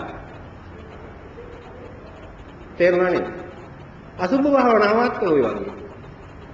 අසුභ භාවනාවත් අසුභ භාවනාවක් විදියට තියෙනවා සමත කමඨහන් 40. දැකලා තියෙනව නේද මේක? නමුත් සතිපට්ඨාන සූත්‍රයේ තියෙනවා අසුභව. නෑ අසුභ භාවනාව සතිපට්ඨාන සූත්‍රයේ තිබුණා කියලා ඒක සමත මේ විදර්ශනා භාවනාවක් වෙන්නේ නෑ. ඒකත් සමත. දැන් ඔයගොල්ලෝ හිතන්නේ දැන් තියෙනවා නව සීවතක කියලා භාවනා ටික සතිපට්ඨාන සූත්‍රයේ මිනි නවය. ඔය ටික මිනි ගැන කරන භාවනාව විදර්ශනාද සමතද? ඈ දැන් ඔයගොල්ලෝ කියන්නේ නම් එහෙමයි දැන් විදර්ශනා කරා මට මලමිනි පෙනුණා කුණු වෙච්ච මලමිනිමයි පේන්නේ ගෙදර ආව දරුවෝ පේන්නේ මලමිනි විදියට එහෙම කියලා ඉන්නේ නෝන පේන්නේ මලමිනියක් වගේ මහත්ය පේන්නේ මලමිනියක් වගේ කියලා කියනවා භාවනා මොන භාවනාවද කරේ කියලා අහව විදර්ශනානේ නැතුව කොහොමද මලමිනිය පේන්නේ නෑ ඔන්න අතර තමයි ප්‍රශ්නේ තියෙන්නේ දැන් නවදීවතික අතිපට්ඨානෙත් තියෙනවා අසුභ ওই ටික නැද්ද සමතකම ගන්න. එහෙනම් ඒකත් ওই මලමිනී වේන එකම සමතයක්. තේරුණානේ? භාවනා කරලා මලමිනිය වෙනුණා. භාවනා කරලා බුදුහාමුදුරුවෝ පෙනුණා. භාවනා කරලා යේසුස් වහන්සේ පෙනුණා. භාවනා කරලා සිය දෙවියෝ පෙනුණා. භාවනා කරලා මහා බ්‍රහ්මයා පෙනුණා. ඔක්කොම මනෝ විකාරය. තේරුණාද? නමුත් එක එක්කෙනාට ඒක එක්කෙනාට ලොකුයි. විපස්සනා භාවනා කරා මලමිනි පේන එක ලොකු. ඇට කැටි කෑලි පේන එක ලොකු. ඒක යා හදාගත්තා. නෑ විඥානයේ කෙනෙකුට යාචිකා කර යාඥා කරනකොට පුරුෂයක් පේන එක ලොකුයි. බෞද්ධයන්ට මේ මොන හරි බුදුගුණ කියනකොට බෝධියක් පේන එක ලොකුයි. තේරුණාද? සිව භක්තියට භාවනා කරනකොට පාර්වතී වෙනවා ලොකු. සිව දෙවිය වෙනවා ඊටත් එන්නේ. දැන් මොකක් කොහෙන්ද මේ ලොකුකම හැදෙන්නේ? තමන්ගේ දැක්ම තුල. එතන මේ ඔක්කොම මනසෙන් හදන මනෝ රූප. දෙවියෝ වෙනවා මනෝ රූපයක්. ඔයගොල්ලන්ට පේන දෙවියෙක් නෑ. මෝ දෙවියන්ට පිස්සු හැදිලා ඔයගොල්ලන්ට පේන්නේ නෑ. දැන් ඔයගොල්ලන්ට පිස්සු හැදුනහම දෙවියන්ට පිස්සු හැදෙන්නේ නෑ. මොකද ඒක ඕපපාතික සත්තුන්ගේ පිස්සුව කියන එක හැදෙන්නේ නෑ. අපිට විතරයි පිස්සු හැදෙන්නේ. තේරුණානේ ඔයගොල්ලෝ ළඟට ඔය දෙවියෙක් ඉන්නේ නැහැ. ඒ වුණාට ඔයගොල්ලෝ දෙවියෝ පස්සේ යනවා. යන්නේ මනසෙන් හදාගත්ත දෙවියෙක් පස්සේ. තේරුණානේ? දෙවියන්ට එහෙම ඔම එන්න උවමනාවක් නැහැ. දෙවියන්ට එන්න ඕනේ නැහැ. දෙවියන්ගේ මේ මාධ්‍ය වෙන එක. ඔය රූප මාධ්‍යයක් නෙමෙයි ඒගොල්ලන්ට තියෙන්නේ. ඒ මාධ්‍ය අපිට ග්‍රහණය වෙන්න ඕනේ නැහැ. ඒ අපි කරන බොරුවක්. එතකොට මේ භාවනාවෙන් අපි රැවටෙන රැවටිල්ලක් ඔය තියෙන්නේ. මුලා. ඒකින්ද දෙවියෝ එක්ක ගනුදෙනු කරන අයට භාවනා දිනු වෙන්නේ නැහැ. හොඳට මතක තියාගන්න. භාවනාවක් දෙවියෙක්ව ගනුදෙනු කරනවා කියන්නේ දෙවියන්ට පුද පූජා තියන අයට භාවනාව දිනු වෙන්නේ නැහැ කියන එක නෙමෙයි මේ කියන්නේ. තේරුණා නේද?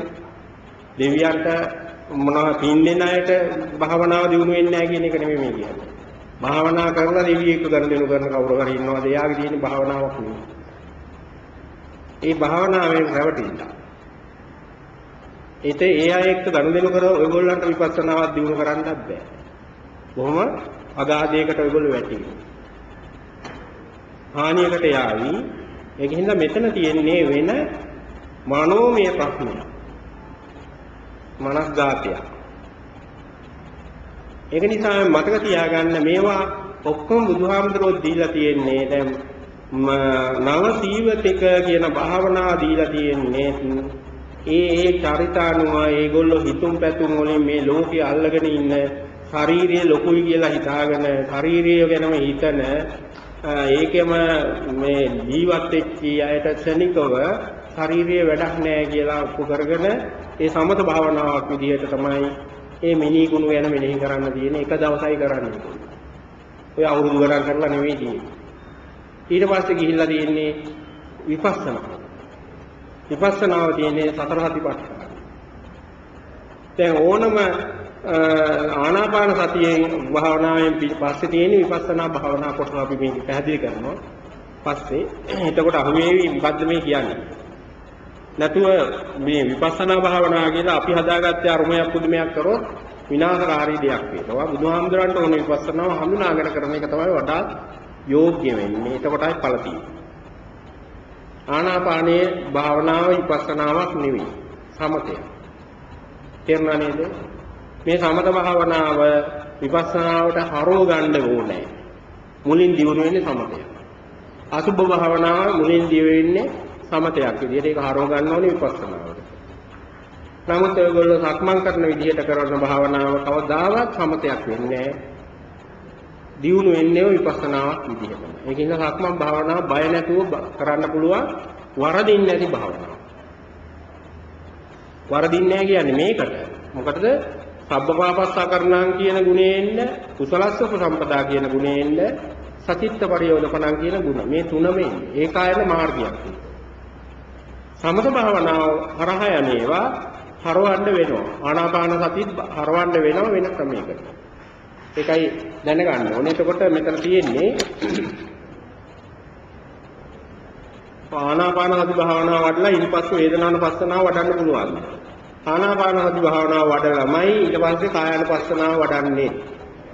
එහෙනම් ආනාපාන සති භාවනාව නෙවෙයි කායानुපස්සනාව. තේරුණාද? ඉතින් ඒ ප්‍රශ්නේ විසඳගත්තම අනික නිකම්ම විසඳෙන්නේ නේද?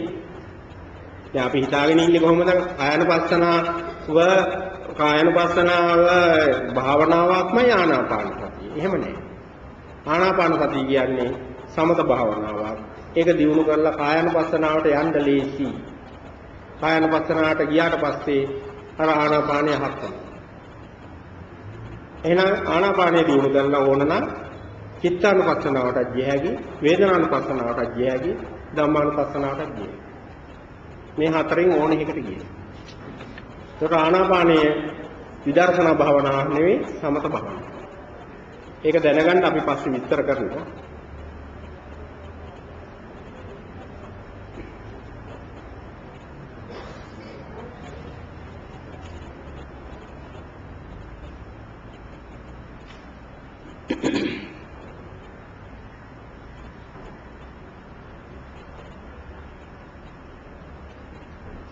එහෙමනම් හොඳයි අපි දැන් බලමු දැන් අපේ ඊගා කොටස.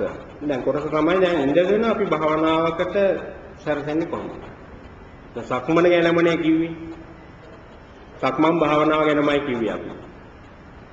දැන් ඉඳගෙන භාවනාවකට සැරසෙන්න වාඩි වෙලා කරන භාවනාවක් විදිහට සතිපට්ඨාන සූත්‍රයේ තියෙන භාවනාවක්ම අපි ගන්නවා. ඔයගොල්ලෝ දැන් අහපු ප්‍රශ්නේ තිබුණේ ඒකමයි ආනාපාන සති පබ්බේ. දැන් මේ ආනාපාන සති පබ්බේ වාඩි වෙලා භාවනාවක් විදිහට කරනකොට ඒකේ නැනතමත් දැන් ඔයගොල්ලන්ට තේරිලා තියෙනවා එහෙනම් ආනාපාන සති භාවනාව කියන්නේ සමත භාවනාව. හුස්ම ගැන අවධානයෙන් ඉඳීම මොන භාවනාවක්ද? සමත භාවනාව. මේක විදර්ශනාවක් බවට හරවන්න පුළුවන්. මුලදී හරවන්න බෑ. භාවනාවේ සිත තැම්පත් කරලා අර කුසලස උපසම්පදා කියන ගුණයවොත් විතරයි හරවන්නේ. ඒක මතක තියාගන්න. සබ්බවවස්සා කරණං කියන ගුණය එන්න ඕනේ. කුසලස උපසම්පදා කියන ගුණය ආවොත් විපස්සනාවකට හැරෙන්නේ. දැන් විපස්සනාවට හරවන වෙලාවේදී ඕනනම් විපස්සනාව තීරණය කර හැකි කායනුපස්සනාවද වේදනානුපස්සනාවද කියලා දෙකකින් එකක් තීරණය කරයි. දැන් මේවා දන්නේ නැති වුණා වෙන්නේ අච්චාරු කරගෙන මොකක් හරි කර කර ඉන්නවා. බුදුහාමුදුරන්ට ඕන දේ වෙන්නේ. දැන් මේ දේ කරන්න නම් මුලින්ම ඔයගොල්ලන්ට මම මේ උපදේශක් දෙනවා. දැන් නිදිමත වෙලාවකුත් තියෙන්නේ ඒ වුණත් කමන්නේ. ඒ වුණත් කමන්නේ විනාඩියක් ඔය හුස්ම ගැන අවධානයේ ඉන්න ඇස් දෙක පියාගෙන ආස්වාස පාස්වාස ගැන අවධානයෙන් ඉන්න ඉඳලා අපි බලමු ඊගාවට කොහොමද අපි මේ භාවනාවේ ಗುಣ ටික බුදුහාමුදුරුවෝ දේශනා කරලා සූත්‍රයට අනුගතව මොන ගුණද තියෙන්නේ කියලා බලන්න. කොහොම වාඩිලා ඉන්න ගමන් හැමදේනම ඇස් දෙක වහගෙන ආස්වාස පාස්වාස මේ මෙනෙහි කිරීම කරන්නකො පුරුදු වෙලා තියෙන විදිහට අපි කතා කරමු ඊට පස්සේ.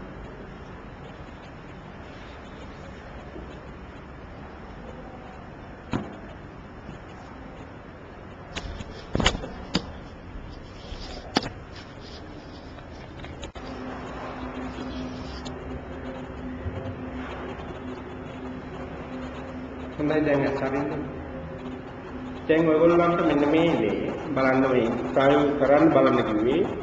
නෑ හැමෝටම මේ භාවනා කරලා පුරුදු වෙච්ච නැත්නම් අලුත් අය මේ විදිහට හඳුන ගන්නත් ඕනේ.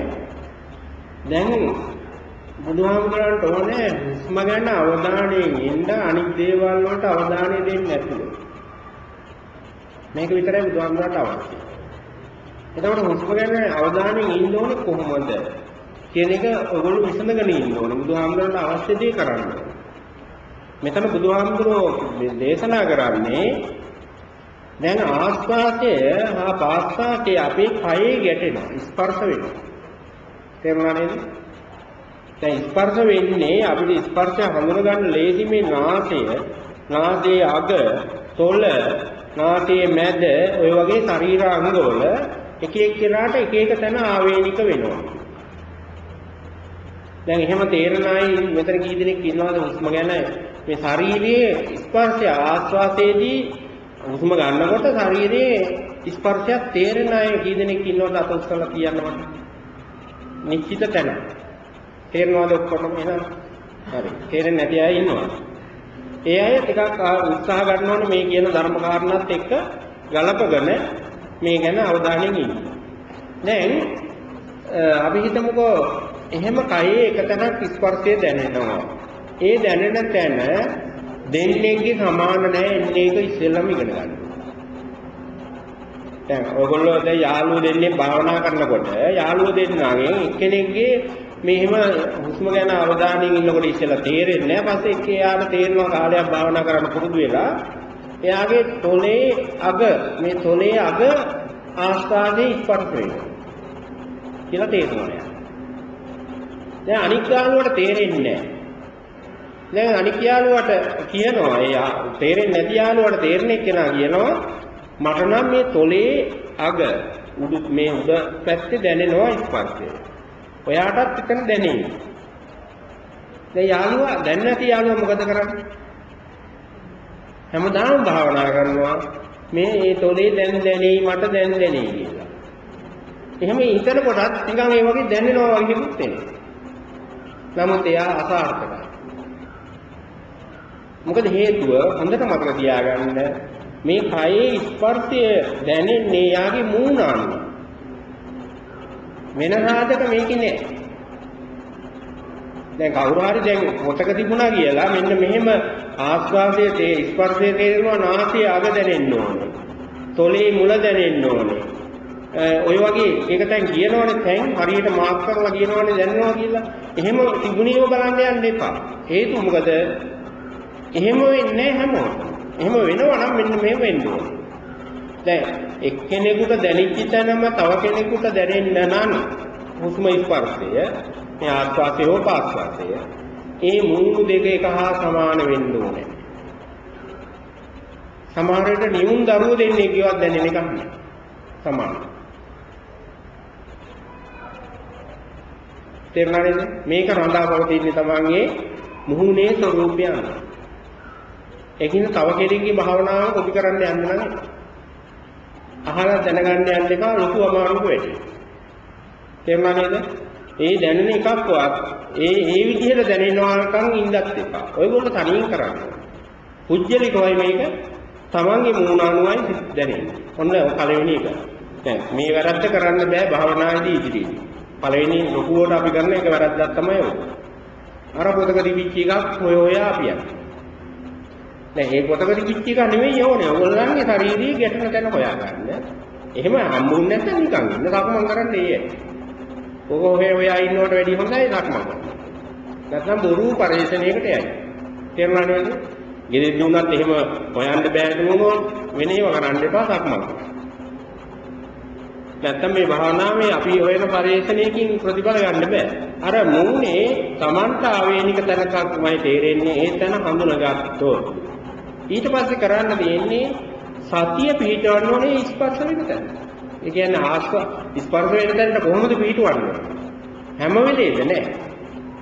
ඒ පිහිටවන්නේ ආස්වාස ආස්වාසයක් සිදු වෙන්නත් ඕනේ ඒ ආස්වාසයේ අර කියන තව තෝරගත්තේ තැන ස්පර්ශ වෙන්නත් ඕනේ. එතන වර්තමානයි. දැන් සතිය පිහිටවන්නේ මේ වර්තමානයේ. වර්තමානයේ හැදෙන්නේ කොහොමද? ආස්වාස ගන්න වෙලාවක ඒ ආස්වාසයේ නාසයේ හෝ තුලේ ගැටෙන.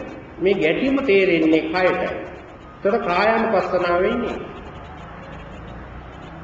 ඕකම නෙවෙයි සක්මන් කරනකොට කරන්නේ. දැන් වම් කකුල කයට අයිති එකක් මේ කය ගැටෙන්නේ කා එක්කද පොළොවේ එතකොට වම් කකුල පොළොවේ වදින වෙලාව වර්තමානය ඒක තමයි ස්පර්ශය තමයි අපි අවධානයට ගන්න. එහෙනම් ඔය සක්මනයි හුස්ම ගැටීමයි කියන්නේ දෙකක් නෙමෙයි ඇත්තටම එකක්. මොකද්ද මේ දෙකේ දෙකක් උනේ? වම් මේ මේ වම් කකුලේ තියෙන යටිපල්ල ගැටෙන්නේ මහ පොළොවේ. මහ පොළොව ඒගොල්ලන්ගේද? නෑ. ඔයගොල්ලන්ගේ යටිපල්ල.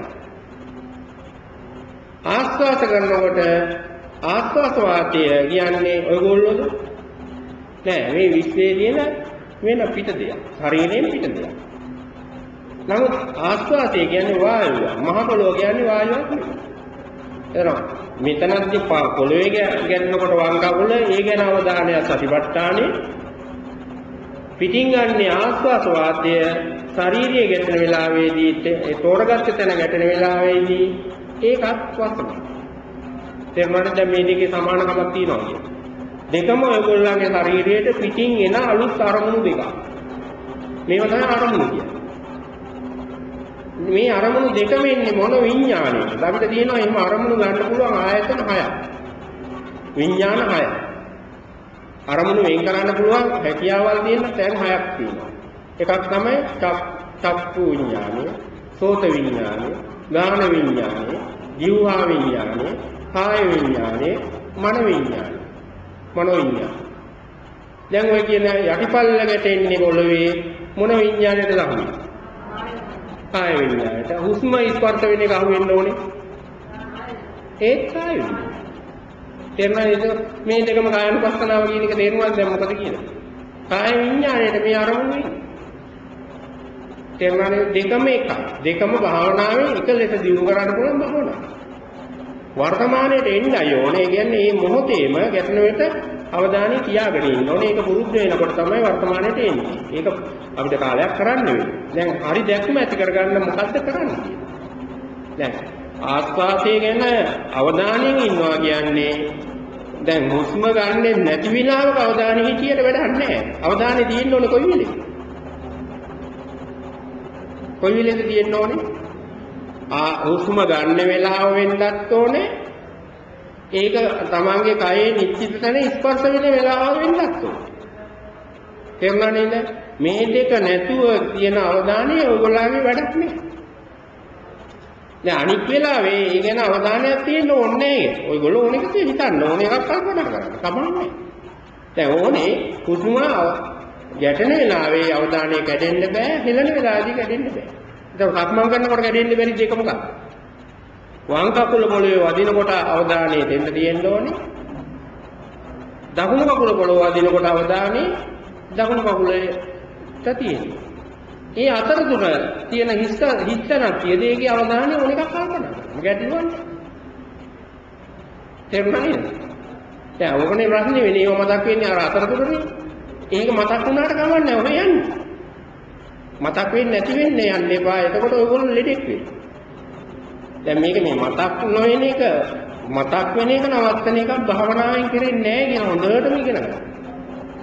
මොකද්ද භාවනාවෙන් කියන්නේ ඇත්තේ? මතක් වෙන එක නැති කරන එක නෙමෙයි. මතක් වෙන එක නැති කරන්න පුළුවන් జగතේ මේ ලෝකේ නෑ. බුදුහාමුදුරන්ටවත් බෑ. රහතන් වහන්සේටත් බෑ. ඔයගොල්ලන්ට පුළුවන් වෙයි. ඔයගොල්ලන්ට පුළුවන් එක විදියකට නිදි පිට ටිකක් බීලා නිදාගන්න. එතකොට මතක් වෙන්නේ.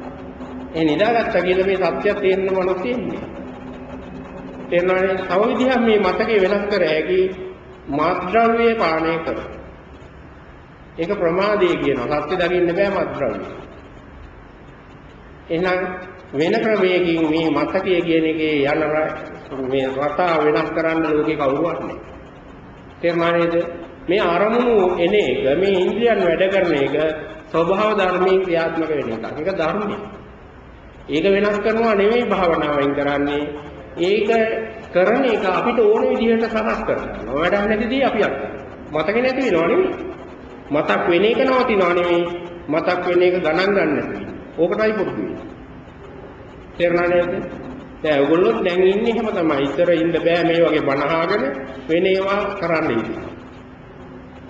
දැන් එහෙම එකක් නෑ බණ අහන එක ලොකුයි කියලා හිතන හින්දා ඒක වටින හින්දා ඔයගොල්ලන්ට මෙතන ඉඳගෙන බණ ඇහියකි මේ දැන් 3 වෙනකන් හිටියේ.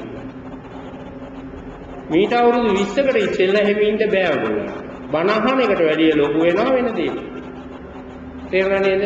ඒ කාලේක ඔයගොල්ලෝ බණ අහන්න වාඩි වුණා නම් මෙතන ඉඳගෙන ඉන්නකොට අර ආමුදුරවන්ට ගෞරව කරන හින්දායි ධර්මයට ගෞරව කරන හින්දායි මේ වගේ වෙලාවක නැගිටලා යන්නේ. කොයි වෙලේද විවේකයක් එන්නේ? ඒ විවේකයේ ආරහැටි මොකද වෙන්නේ? අර ලොකු එක්කකට යනවා. තේරුණාද? දැන් ඕකනේ දැන් සාමාන්‍යයෙන් වෙන්නේ. දැන් ඒක එන්නේ ඒ ගතිය තමයි මෙතනත් සිදු වෙන්නේ. මෙතනත් එන්නේ ඔයගොල්ලෝ කාලයක් භාවනා කරනකොට භාවනාව ලොකු වෙනවා අනිත් සියල්ලම පුංචි වෙනවා. එහෙනම් රහතන් වහන්සේගේ අවසානයේ මොකද්ද වෙනව ඇත්ත කියලා හිතන්න. වර්තමානයේ ඉන්න එක විතර ලොකු නෑ වෙන කිසි දෙයක් රහතන් වහන්සේ.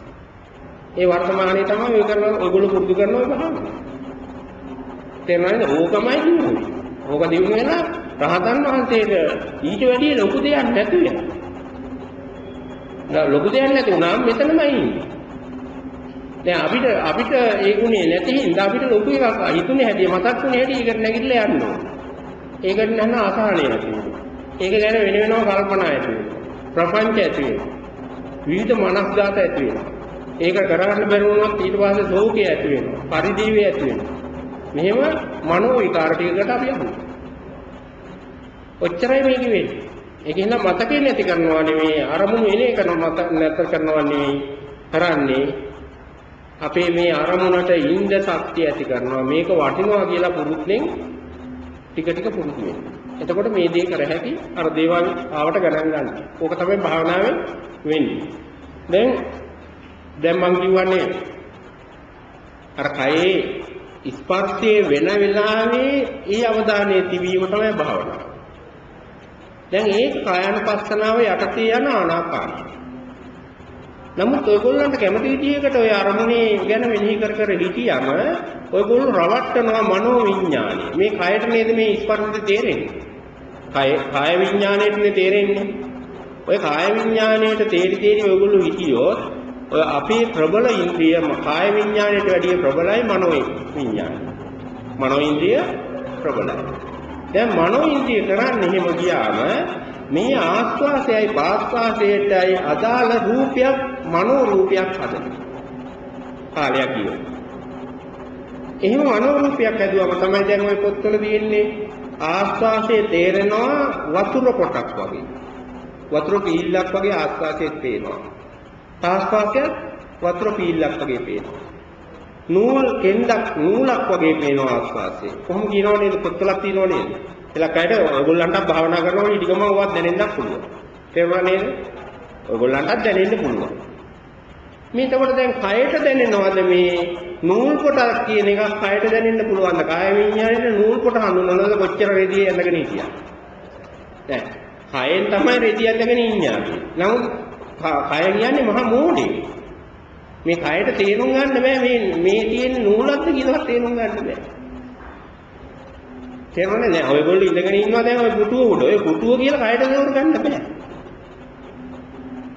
තේරුණානේ කයට තේරෙන්නේ ස්පර්ශයක් විතරයි. පොට්ටබ්බ රූපයක් විතරයි කයට තේරෙන්නේ කාය විඤ්ඤාණය. එහෙනම් ඉඳගෙන ඉන්න පුටුව කියලා කවුද තීරණය කරන්නේ? මනෝ විඤ්ඤාණය උදව් වුණොත් විතරයි පුටුව කියලා එකක් තේරෙන්නේ. තේරුණා නේද? දැන් එහෙනම් මේක ආස්වාදයක් කියලා තේරුම් කරලා දෙන්නේ කවුද? ආස්වාදයක්ද මේ ස්පර්ශ වෙන්නේ පාස්වාදයක්ද කියලා කාය විඥාණයට පුළුවන් වෙයිද බැරි වෙයිද? දැන් ඉඳගෙන ඉන්නේ පුටුව කියලා තෝරගන්න බෑ. ඉඳගෙන ඉන්නේ නෑ අපි ඇඳගෙන ඉන්නේ ගවුමක් කියලා තෝරගන්න බෑ ඔයගොල්ලන්ගේ ශරීරේ. තේරුණා නේද? දැන් ගවුමක්ද මේ සාරියක් දැනගෙන ඉන්නේ කියලා තේරුම් ගන්න බෑ ශරීරයට. කවුද මේ ගවුමක සාරියද කියලා වෙන් කරලා දෙන්නේ? මනෝ විඥානය આવොත් විතරයි. තේරුණා නේද? එහෙනම් භාවනා කරනකොට ඉඳන් ඇඳගෙන ඉන්නේ මතක නෑ නේද? ආ එහෙනම් මනෝ විඥානේ ඒවට එන්නේ නෑ. එන්නේ කාය විඥානේ විතරයි. ඔන්න ඔහම ඒවා තමයි මේ බුදුහාමුදුරුවෝ පෙන්නන ක්‍රමවේදවල තියෙන්නේ. දැන් බලන්න එහෙමනම් ආනාපාන සති භාවනාව කරලා යමෙකුට නූල් කොටක් වගේ ආස්වාදය තේරුණා නම් කුළුන් රොදක් වගේ තේරුණා නම් ආලෝකයක් විදිහට තේරුණා නම් මේක කයට තේරුණ එකක්ද මනස හදපු විකාරයක්. ඔව් මනස විකාර හදලා දෙනවා මේ වගේ භාවනා කරොත් අපි. තේරුණා නේද? මනසට ඕනේ එක හදලා දෙන්න. මනෝ රූපයක්. මනස් ගාපයක්. මනසින් මේ රූපය හදන්නේ. නැතු තියෙන එකක් නෙවෙයි. දැනෙන එකකුත් නෙවෙයි. ඒ ආස්වාද පාස්වාද රිද්මයට අනුව රූප දෙකක් මනස නිර්මාණය කරලා දෙනවා. ඒ රූප දෙක තමයි අර පේන්නේ. ඒ කියන්නේ අන්න එහෙම භාවනා කරනකොට ඒ ආනාපාන සති භාවනාව සමත භාවනාව.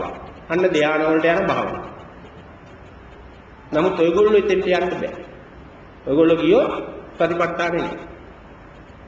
ඔයගොල්ලන්ට ආස්වාසයේ නූල් කොටක් විදිහට පෙරුණා නැගිටලා ආත්මල් කරන්න. ආය නූල් කොටවල් හොයන්න යන්න එපා. මේක මේ මනස හදලා දුන්නේ ගුඬුවක්. ඔයගොල්ලෝම දන්නවනේ හුස්ම ගන්න බෑනේ ඔයගොල්ලන්ට පුළුන් රොද. වතුර පීලා හුස්ම ගත්තම මැරෙනවා කියලා ඔයගොල්ලෝම දන්නවනේ. මේක ඒකට බොරුවක් නෙමේ මනස හදලා දෙන්න බොරුවක් නේ. ඒ බොරුවේ යන්නේ සමතේ. තේරුණා නේද? අර නූල් කොට කොට වගේ උස්ම රැල්ල දැනෙන එක සමත භාවනාවක් වුණාම ඒකෙදි තවත් එහාට ගියොත් ධානය කියන්නේ අර නූල් කොටමයි. ධාන වලට ගන්නෙ ඒකමයි. නමුත් අපි කියන්නේ ඒකට නෙවෙයි. ඒකට ගියොත් ඔයගොල්ලෝ අමාරු වෙනවා. ඔයගොල්ලෝ වහාම නැගිටලා සක්මන් කරන්න අර නූල් කොටවත් මනස හදන රූපය ඕනේ නැහැ අපිට. අපිට ඕනේ වර්තමාන කයේ ස්පර්ශය විතරයි. එතනින් එහා මනස විකාර කරන්න ආවොත් ඔයගොල්ලෝ ඒක නවත්ත ගන්න දැනගන්න. මට අහවල් එක පෙවුනා මේක දිනුවා ඒ ගන්නේ මොඩකම්. තේරුණා නේද? එතන නෑ සතිපට්ඨානයට අනුගත ස්වභාවය. දැන් තේරුණාද මම මේ කියාගෙන යන එක? භාවනා කරනකොට හුස්ම ගැන අවධානයෙන් ඉන්නවා. ඕකේ රූපමය ස්වરૂපයක් ඔය කියන විදිහට ආලෝකයක්. එහෙම නැත්නම් නූල් නූලක් විදිහට එහෙම නැත්නම් කුරුන් රොදක් විදිහට වලාකුලක් විදිහට මේ ආස්වාදයේ තේරුණා කියලා උඩ පනින්න එපා. ඒක පරාජය. දිනුමක් නෙවෙයි පෙරදි. මොකද්ද පෙරදි? ඔව් මනස විසින් ඔයගොල්ලෝ ලණුවකට අල්ලලා ඉවරයි. තේරුණානේ භාවනාව පරිපට්ඨානින් කඩන මූලික අධිදානම් දාලා ඉවරයි. සමතේට ගන්න හදන්නේ. එහෙම භාවනාවක් තියෙන එතකොටත් හිත දැම්පත්. භාවනාවක් නැතුව නෙවෙයි හිත දැම්පත්. නමුත් දැන් ඊට හා දිනු කරොත් වෙන්නේ සමත භාවනාවක් විතරයි දිනු. ප්‍රතිපත්තාන භාවනාවකට යන්න බෑ. තේරුණා නේද? අර අපි කියපු ගාථාවෙන් එතකොට යාට යන්න බෑ. ඒ වෙලාවේ තියෙනවා සබ්බව අවස්ථා කරණම් ගුණේ හැමෝම තියෙනවා. ඒ සමත පැත්තෙත් තියෙනවා ඒක. කුසල සුපරම්පදා කියන ගුණයක් තියෙනවා. තේරුණා නේද? ඔය නූල් පොටක් වගේ වෙනවා කියන්නේ නීවරණ යටපත් වුණොත් තමයි එහෙම වෙන්නේ. කුසල සුපරම්පදා තියෙනවා. හැබැයි එයා කොච්චර ඒක දිනු කරා සචිත්ත පරියෝධපණන් වෙන්න බෑ. තේරුණානේ? ඒක නිසා දැන් ඔයගොල්ලන්ට තේරෙන්න ඕනේ ඇයි ආනාපාන සති භාවනාවත් එක්ක එහෙනම් මේ සක්මන් භාවනාව යොදන්නේ මොකටද? මේකේ තියෙන වාසි දැනගන්න. සක්මනට ඔය වගේ මනෝ විකාර කරන්න බෑ මනස. තේරුණා නේද?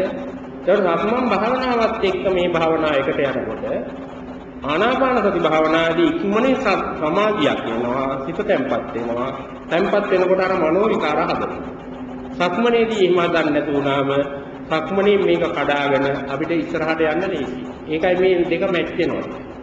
දැන් තේරුණාද මේ දෙකම එකට යන්නේ ඇයි කියන්නේ? එකට යාම යනකොට වාසි දෙකක් තියෙනවා. ඒ වාසිය හඳුනගන්න. දැන් ඊට පස්සේ දැන් ඔන්න ඒකක් තේරුම් ගන්නවා. හුස්ම ගැන අවධානයෙන් හිටියා කියලා මේක වෙන රූප වෙනවා කියලා රූප හැදුනා කියලා ඒක නෙවෙයි දිනුව අපි. කය ස්පර්ශ වෙන එකේ වර්තමානයේ ඉදීමයි දිනුව. ඊළඟට අද දැන් අනිත්‍ය ගත්තේ ටික මතක් කරනවා. ඔන්න දැන් සතිපට්ඨාන සූත්‍රයේ තියෙනවා ආනාපාන සති සම්මත කොටස. ආනාපානයේ සම්බන්ධව බුදුහාමුදුරුවෝ දීලා වචන හතක්. මෙන්න මේ ಗುಣ එන්න ඕනේ. මේවත් දැනගෙනම ඉන්නේ. මේක ලියාගත්තක් කමක් පළවෙනි එක තමයි දීර්ඝ හුස්ම හඳුනා ගන්න ඕනේ. දීර්ඝ හුස්ම හඳුනා ගන්න. දෙවෙනි එක කෙටි හුස්ම හඳුනා ගන්න. දීර්ඝ ආස්වාදයේ දීර්ඝ පාස්වාදයේ හඳුනා ගන්න ඕනේ. කෙටි ආස්වාදයේ කෙටි පාස්වාදයේ හඳුනා ගන්න ඕනේ. තුන්වෙනි එක සබ්බකාය පටිසංවේදී කියලා වචනයක් දීලා තියෙනවා. එන්නේ අවස්ථාව හතරවෙනි තුන්වෙනි එක හඳුනා ගන්න ඕනේ. සබ්බකාය පටිසංවේදී. දැන් මේ සම්බන්ධව ඔයගොල්ලන්ට අවසාන දවසේ පොතක් දෙනවා. ඒ පොතේ ඔක්කොම තියෙනවා. කියන්නේ ලොකු පොතක් දෙනවා මේ භාවනා තියෙන එක. මුල් දවසේ දෙන්නේ කට්ටිය එතකොට අඩුපාඩු වෙන හින්දා උගන්නලම පැහැදිලි කරලම දෙනවා. ඔය CD එකේ තියෙන බණට ගේම් පොත. CD එක අහන්න ඉස්සෙල්ලා. තුන්වෙනි එක සබ්බකාය පරිසංවේදී හතරවෙනි එක පස්සම්බයං කායසං වචනයක් තියෙනවා. දැන් දීර්ඝ හුස්ම දැනගන්න ඕනේ කෙටි හුස්ම දැනගන්න ඕනේ. දෙවෙනි එක, තුන්වෙනි එක ඔව් සබ්බකාය ප්‍රතිසංවේදී කියන්නේ මුළු හුස්ම මුළු ආස්වාද පාස්වාදය දැනගන්න ඕනේ කියන අර්ථයක් තියෙනවා. හතරවෙනි එක පස්සම්බය කාය සංකාර. ඔන්න ඔය හතරට යනකම් ඔයගොල්ලෝ පුරුදු වෙන්න ඕනේ ආස්වාදයේ පාස්වාදයේ ගැන අවධානයෙන් ඉන්න. මේ ಗುಣ ටික එන්න මේ ಗುಣ හතරක් කියන්නේ. දැන් මේ ಗುಣ හතරෙන් පෙළක් ඒවා ඔයගොල්ලන්ට තහනම් කරනවා. මේවා හොයන්න බෑ. තේරුණානේ මේවා හොයන්න එපා. දැන් ඕන ඔය ಗುಣ හතර විතරයි ගන්න. එතනින් පස්සේ භාවනාව වෙනස් වෙනවා. එතනින් එහා ආනාපානයක් නෑ. ඊට පස්සේ කායනුපස්සනාව. සතිපට්ඨාන සූත්‍රයේ තියෙන්නේ එහෙම. එතනින් එහාට ආය ආරපාණය කරනවා නම් එයා කරන්නේ බුදුහාමුදුරන්ගේ උපදේශ මාලාව නෙවෙයි වෙන එක. දැන් වස්තම්භයක් ආය සංකාරම් කියන தത്വයට ආනාපානය හදුවොත් එයා එයා පුරුදු කරගත්තොත් තවදුරට ආනාපානය කරන්න බෑ. එතෙත් හැදුවට පස්සේ එන්නේ අර ගාතාවට අනුව කුසලස්ස උපසම්පදා කියන ගුණය ඇවිදින්. එතනින් එහා මොකද්ද කරන්නේ? සචිත්ත පරියෝධපණම් වෙන්නේ. එහෙම නේද තියෙන්නේ? දැන් එතකොට කවුරු හරි ඔය එක දිගට මේක අවුරුදු 20ක් 30ක් එක භාවනාවක් කරා කිව්වොත් සමග භාවනාව ඒක බුදුහාමුදුරුවන්ට අනුගත භාවනාවක් නෙමෙයි එයා කරලා තියෙන්නේ. එයි මේ ශික්ෂා තුනම දිනු වෙලා නැහැ යාර. තේරුණානේ? ඒක තමයි අපි කරන ලොකුම ඕඩකම. ඒක හඳුන ගන්න ඕනේ.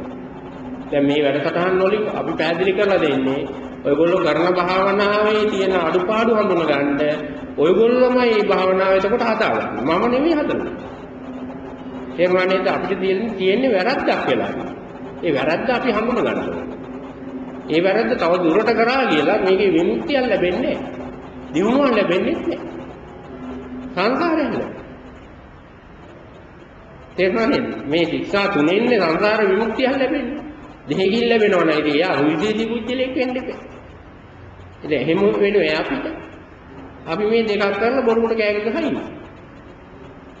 ඔහොම වැරදි ගොඩාක් අපි ළඟ වෙනවා. දැන් බලමු මේක විසඳ ගන්න. දැන් ආනාපාන සති භාවනාව භාවනාවක් විදිහට කරනකොට සතිපට්ඨාන සූත්‍රයේදී කියනවා මේක ඕන සූත්‍රයේ බලන්න මම මේ කෙටි කරලා කියන්නේ. දීර්ඝ උස්ම දීර්ඝ ආස්වාසය දීර්ඝ පාස්වාසය හඳුනා ගන්න ඕනේ මුලින්ම. ඔන්න බුදුහාමුදුරන්ට ඕනේ පළවෙනි එක. දීගං වා අස්සසන්තෝ දීගං වා අස්සසාමීති පජානා. ඕකනේ තියෙන්නේ. දීගං වා රස පස්සසන්තෝ දීගං වා පස්සසාමීති පජානා. ඊගාට දෙවෙනි අදහස තියෙන්නේ රස්සං වා අස්සසන්තෝ රස්සං වා අස්සසාමීති පජානා. රස්සං වා පස්සසන්තෝ රස්සං වා පස්සසාමීති පජානා. ඒ කියන්නේ කෙටි ආස්වාසය දැනගන්න ඕනේ. ඒ වගේම කෙටි පාස් අස්තය දැනගන්න. පජානාති කියන්නේ ඥානාති කියන්නේ දැනගන්න. පජානාති කියන්නේ ඒ මොහොතේ ආස්වාදයේ සිදුවෙන මොහොතේ දැනගන්න කියන එකට පජානාති කියන වචනේ දාන්න. වර්තමානයේ කියන වර්තමානයේ හඳුන්වන වචනයක් පජානාති. ඥානාති කියන්නේ හඳුන ගන්නවා කියන එක. පජානාති කියන්නේ කවදා හරි හඳුන ගන්න බෑ. කොයි වෙලේද හඳුන ගන්න ඕනේ දීර්ඝ ආස්වාදේ. දැන්ද? නෑ, ඒ දීර්ඝ ආස්වාදේ තියෙන වෙලාව හඳුන ගන්න. දීර්ඝ ආස්වාදේ තියෙන වෙලාව හඳුන ගන්න. වෙන වෙලාවක බෑ. සාකච්ඡා කරන වෙලාවක බෑ. පොච්චියෝන වෙලාවක බෑ. භාවනාවට ඉදිච්ච වෙලාවක. ඒ මොහොතේ සිදු වෙන්නේ. ඒක තමයි පජානාති කියන වචනේ භාවිතා වෙන්නේ. දැනගත්තා නේද? දැන් ඕකෙන් මෙහෙම ප්‍රශ්නයක් වෙනවා. ඔයගොල්ලෝ දැන් දිග හුස්මක් කෙටි හුස්මක් කියලා වෙන් කරන්න ගියෝ ඔයගොල්ලෝ ලොකු අමාරුවක වැටෙනවා. ඔයගොල්ලන්ට බෑ මේක වෙන් කරන්න. ඒකට හේතුව කියන්නේ.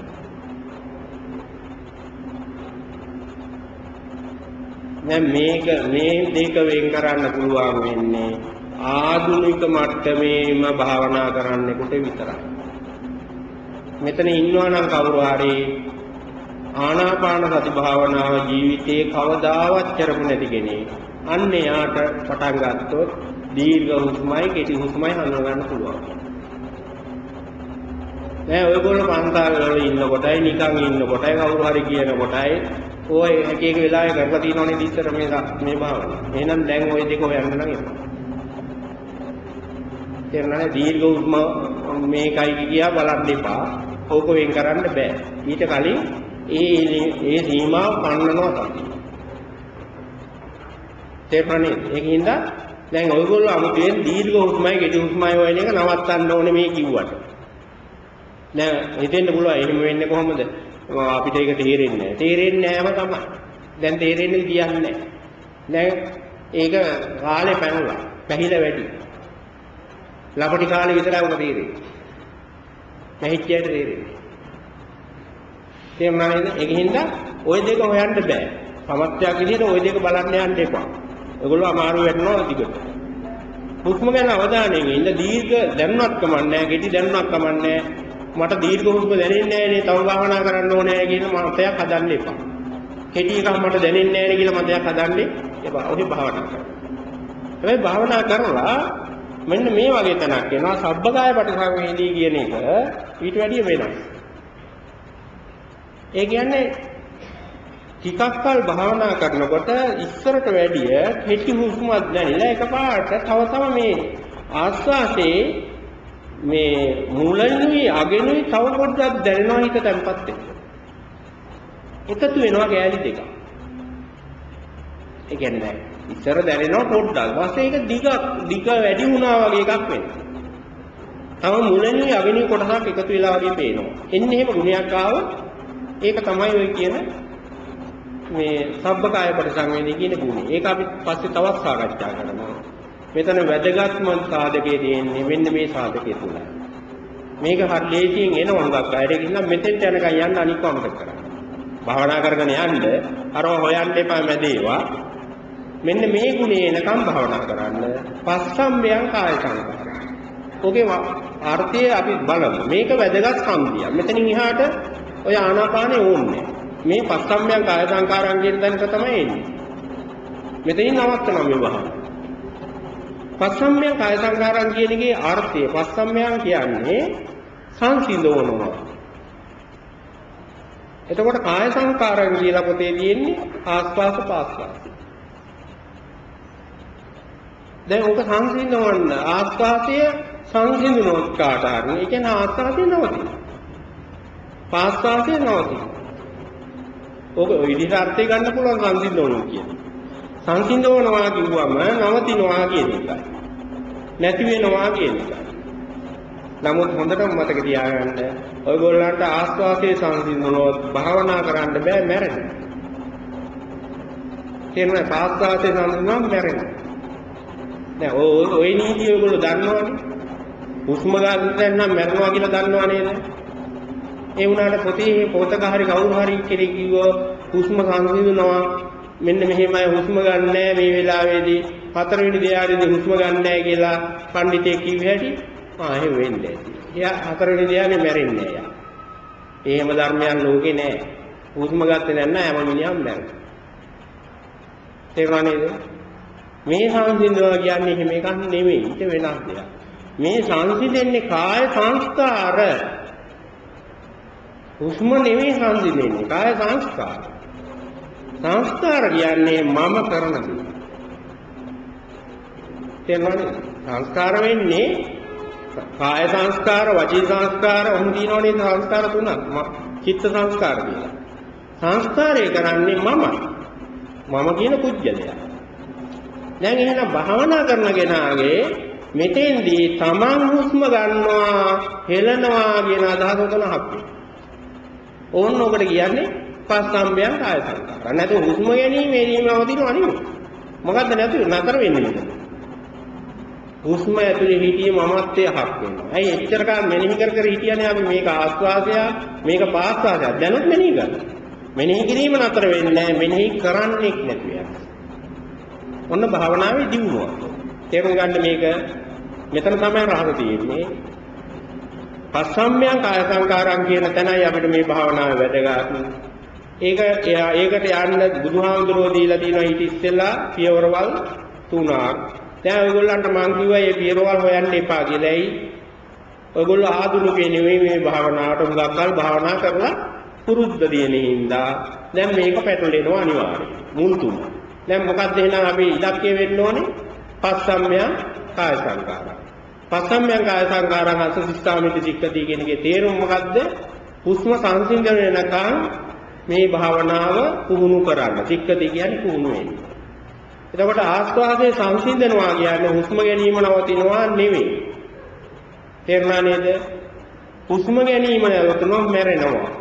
දැන් ඔයගොල්ලන්ට සිදුවෙන්නේ භාවනා දිනු වෙනකොට හුස්ම ගැනීමක් තියෙනවා. ඒක තුල මම නැති වෙනවා. මම හුස්ම ගන්නවා කියන සංකල්පය දැන් අපිට තියෙනවා. මේ හුස්ම ගන්නෙ මම. තේරුණා නේද? දැන් සංස්කාර නැති වෙනවා කියන්නේ මමත්වය හක්. මමත්වය හක් වුණාට ඒගොල්ලෝ මෙනෙහි කිරීම නවතින්නේ නැහැ. එතකොට සියුම් මෙනෙහි කිරීමක් තියෙනවා. ආස්වාදයේ පාස්වාදයේ මෙනෙහි වෙනවා. හුස්මක් තේරෙනවා. ආස්වාදයක් තේරෙනවා.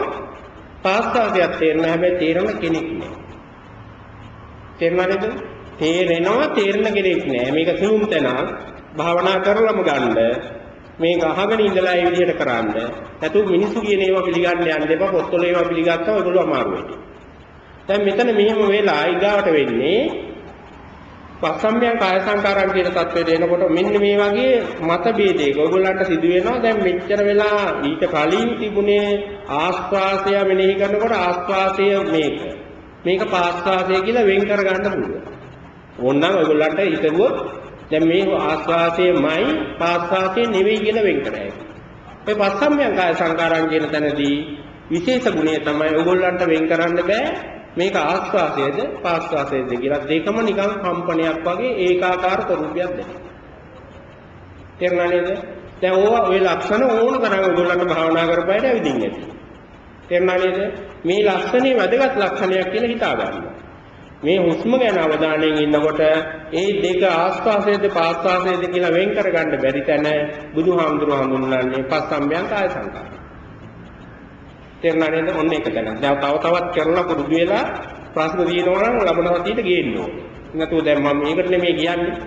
ඊතර ඉඳලා කරලා බලන්න. ගැටලුව අරගෙන එන්න. निराකරණය කරගන්නවා. එන් මේ අවස්ථාව වගේ තැනකට ආවොත් තව දේවල් ඔයගොල්ලන්ගේ ලක්ෂණ දකින්න පුළුවන්. බලක් කලන්න මේ කයේ කොටස් දැන් දකුණු අත දැනෙන්නේ නැතු යනවා කියලා කියලා. වම් අත දැනෙන්නේ නැතු යනවා. අන්න ඒ වගේ ලක්ෂණක් තියෙනවා. කයේ කොටස් කොටස් දැනෙන්නේ නැතු යනවා. ඒ වගේම හුස්ම වෙන් කරන්න බෑ දැනෙන. මේක ආස්වාසයේද කියලා වෙන් කරන්නත් බෑ පාස්වාසයේද කියලා වෙන් කරන්නත් බෑ. තේරුණා නේද? පස්සම්යන් කාය සංකාරම් කියන තැනදී තියෙන ලක්ෂණ. මෙතෙන්ට භාවනාව ගෙනාවොත් මේක බහුලීගත කරන්න කියනවා. ඒ කියන්නේ ඉස්සරහට දියුණු කරන්න කියනවා.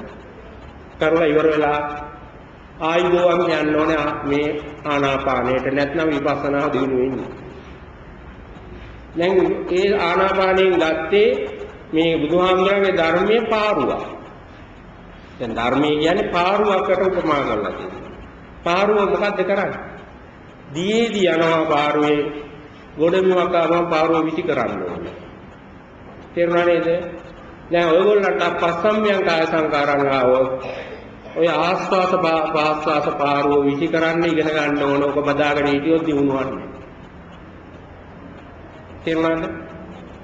ඔතනින් එහා එක ගෙනියන්න බෑ. විසි කරන්න ඕන. විසි කරලා ඔයගොල්ලන් කරන්න තියෙන්නේ මුළු ශරීරයම ධර්ම අවධානය යොදන්න. මුළු ඇඟට.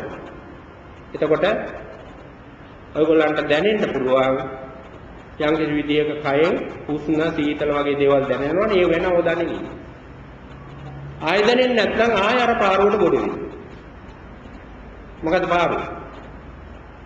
දැන් ගොඩබිමේ ඉන්න බෑ කියන එක නාය දැනෙන්නේ නැහැ කියන්නේ ඒවා. එතකොට ඔක්කොම අත්හැරලා ආයෙ හුස්ම ගැන අවධානය යොමු. ඔහොම උවමාරු කර කර උවමාරු කර කර දැන් කයේ දැනෙන අරමුණයි එහා සමානව ආස්වාද පාස්වාද දැන් පුරුදු අරමුණයි මේක උවමාරුවෙන් උවමාරුවට ගෙනියන්න ඕනේ. එතනින් පස්සේ ඔයගොල්ලෝ යන්නේ ඔන්න සචිත්ත පරියෝධපණන් වලට පුහුණු වෙන්නේ ඕකම. තේරුණා නේද? දැන් ඔයගොල්ලෝ මේ භාවනා ක්‍රමයේ තියෙන විශේෂත්වය තමයි බුදුහාමුදුරුවෝ දීලා තියෙනවා කුසලස්ස උපසම්පදා වෙන තැන. හොයාගන්න පුළුවන් හරියට. කොතනද තැන? පස්සම්යන් කාය සංකාරයක් වෙන්නම ඕනේ. අන්න එතන කුසලස්ස උපසම්පදා ගුණේ තියෙනවා. නීවරණ යටපත් වෙනවා. මේ තැනදී නීවරණ යටපත් වෙලා මේ භාවනාව විතරයි මේක හොයන්න පුළුවන්. වෙන භාවනාවල හොයන්න බෑ. සක්මණින් හොයන්නත් බෑ. දැන් ඊට පස්සේ මාරු වෙන්න ඕනේ යා මොකේද? අර අනිත් පැත්ත. මාරු වෙන එක දැන් ලබනහදී තව හොඳට විස්තර කරනවා. අර පොතේ තියෙනවා, ඔය වීඩියෝ වල තියෙනවා. දැන් මම මේ කතාවනේ කියාදීගෙන යන්නේ. ඔයගොල්ලෝ දැනුවත් වෙන්න එපා ඉස්සෙල්ලාම නැත්නම් විභාගාතේ කරන වැඩක් කරනවානේ. මේ විභාගාතේ කරන්න එපා භාවනාව. තේරුණා නේද? උපන්දා ඉඳලා මේ මේ එක භාවනාවක් කරලා ඔයගොල්ලන්ට මේ ගීන් ස්වార్థාවක් තියලා මැරෙන්න උවමනාවක් තියෙද? ඒ එහෙම එකක් නේ අපි කරගෙන යන්නේ. බුදුහාමුදුරන්ගේ උපදෙස් ගන්න නෙමෙයි. තේරුණා නේද? මේ උපදේශයේ තියෙන බුදුහාමර සීල සමාධි ප්‍රඥා. ශික්ෂා තුනක්. අපි සීලේ නා හරි දන්නවා. සමාධි කියන ශික්ෂාව කෙලවරක් නැතුව කරන්න ගිහින් අමාරුයි. ඒ සමාධි ශික්ෂා ඕනේ ඒ අවශ්‍ය ප්‍රමාණයට විතරයි අපි. ඊට එහා සමාධි ශික්ෂාවක් ඕනේ මොකක්ද ඕනේ? ප්‍රඥා ශික්ෂාව. දැන් ප්‍රඥා ශික්ෂාව කියලා ඔයගොල්ලෝ තව විකාරයක් කරනවා අනිත්‍ය දුක්ඛ අනාත්ම වෙන එක. මේක කරන්න එපා කරන්න එපා අපි ඉගවන්නනවා ක්‍රමය. ඒක ලබන හති වෙනකොට සම්පූර්ණ කරගන්න පුළුවන්. දැන් ඒතකොට අද දවසේ කාලේ වෙලාව අවසන් වෙගෙන යනවා මේ හෝල් එක මම හිතන්නේ තව වැඩකට තියෙනවා හවත. දැන් ඔයගොල්ලන්ගේ මේ සතිය බලාපොරොත්තු වෙන දෙයක් තියෙනවා. මොකද්ද? ගෙදෙන්නේ අනිවාර්යෙන් කාලේ නෑ කියන්න බෑ. කාලේ නැති වෙයි ඉඳගෙන භාවනා කරන්න. නමුත් ඔයගොල්ලෝ ඇවිදින්නද ඇවිදින්න තියනවනේ හැමතැනම කඩේයයි එක එක්කෙනාට කය ගහන්නේයි. ඒ හැමතැනම මොකද්ද වෙන්නේ? මතක් වෙන හැමතැනම කරන්න සතුටු. තේරුණානේ? ඒක නොකර ඉන්න බෑනේ. ආ දැන් කාට හරි අංශභාගය හදගෙන මෙතන නෑනේ. ඒක හින්දා පැය භාගයට වැඩිය සක්මන් කරන්න ඕනේ දවසකට. ඒතර පැය භාගයක් ඇවිදිනව නෙවෙයි මේ. ඔයගොල්ලෝ පැය දෙක තුන ඇවිදිනවා ඇති ගෙදර. එකතු කරොත්. එක සැරේ නෙවෙයි ඕනේ මට. කරලා දැන් අද දවසේ යනකොටයි එහෙම එහෙම ටික ටික පුරුදු වෙන්න. මොළදි මේක මතක් වෙලා එක දිගටම කරන්න බෑ. නමුත් උත්සාහ ගැනීම තුළ පුළුවන් වෙනවා. ඒ සතිය තුළ දීතකොට සක්මන් භාවනාව කරගෙන ඉන්න ඒක අනිවාර්යයි හැමෝටම පුරුදු වෙන්න මහන්සි ගන්න ඕනේ. ඊළඟට දැන් ආනාපාන සති භාවනාව දැන් කරපු අය ඉන්නවනම් ඒක කරන්න. දැන් අලුත් අය කැමති නම් මම කියපු ටික තේරුණා නම් කරන්න උත්සාහ ගන්න. එහෙම නැත්නම් ඔයගොල්ලෝ ඒ දැනට කරන ඕනම භාවනාවක් කරන්න මෛත්‍රී වගේ භාවනාවක් පුරුදු නම් ගොඩක් ඒක කරන්න මේකෙන් මේකට හරවන හැටි අපි කියා දෙන්නේ. නැතු ආනාපානේ අවශ්‍යම නෑ මේක. තේරුණා නේද? අවශ්‍ය නැති වුණාට ඔයගොල්ලෝ කවුරු හරි වෙන භාවනා ක්‍රම පුරුදු වුණා නම් විතරයි ඒක කරන්නේ. මොකවත් භාවනා කරේ නැත්නම් ආනාපාන සති භාවනාව දැන් අද ඉඳලා පුරුදු වෙන්න බලන්න ඕනේ. සක්මන් භාවනාවක් දැන් මේ ටික සම්පූර්ණ කරගෙන යමු. එතකොට අද දවසේ වැඩසටහන මෙහිම අවසන් කරනවා. ඒ ලබන සතියේ එතකොට තෙනපුරාදා නැවත වැඩසටහන 8:30ට තියෙනවා. ඔයගොල්ලෝ ඒ පැය එතකොට ගාණක් තියෙනවා මේ සතිය තුල පුරුදු වෙලා එන්න ඕන. තියෙන ගැටලුවක් තියෙනවා නම් එකක් විසඳ ගන්න පුළුවන්. ඒකම ඔයගොල්ලන්ට ඔය දීලා තියෙන CD එක අහන්න පුළුවන් අහන්න ඕකේ තියෙන ඔය ගැනම ධර්මදේශනා 12ක් ගුවන්විදුලි සංස්ථාවේ දේශනා කරපුවා. එතකොට ඒ ටික අහලත් තව තොරතුරු ගන්නත් පුළුවන්. ඊට අමතරව අපි අවසාන දවසේ බලාපොරොත්තු වෙන පොතක් දෙන්න. දැන් හෙට දවසේ සෑම ඉරිදා 4ක් හෙට ඉඳලා ගම් ගම්පොළ අපි වැඩසටහනක් කරනවා. එහෙ කවුරු හරි ඉන්නවා නම් නෑදෑයෝ හිත මිත්‍ර ගම්පොළ එහෙම දැනුම් දෙන්න.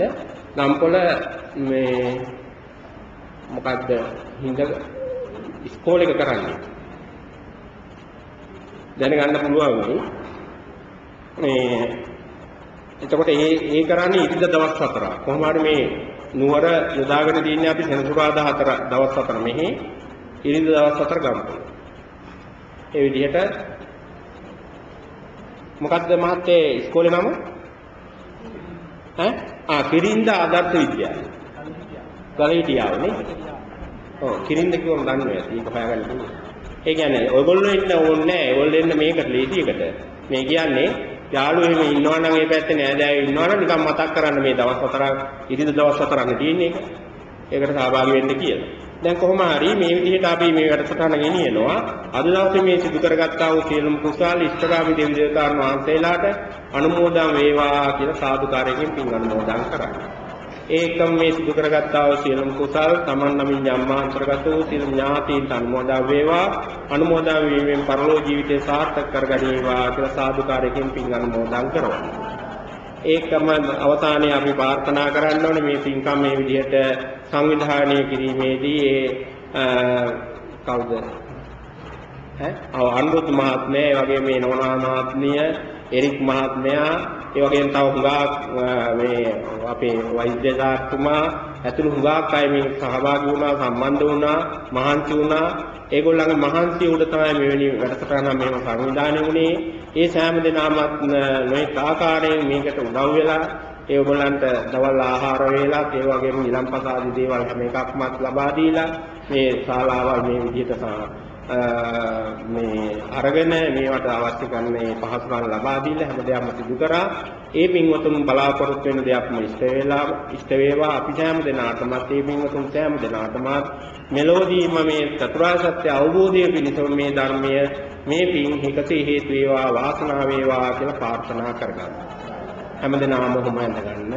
අභිවාදන සීලිස්ස නිච්ඡං වඩ්ඩාව ජායිනෝ චත්තාරෝ ධම්මා වඩ්ඩಂತಿ ආයුවන්නෝ සුඛං බලං ආයුරාෝග්‍ය සම්පatti සග්ග සම්පatti මේවච අතෝ නිබ්බාන සම්පatti විනාතේ සමිජ්ජතු.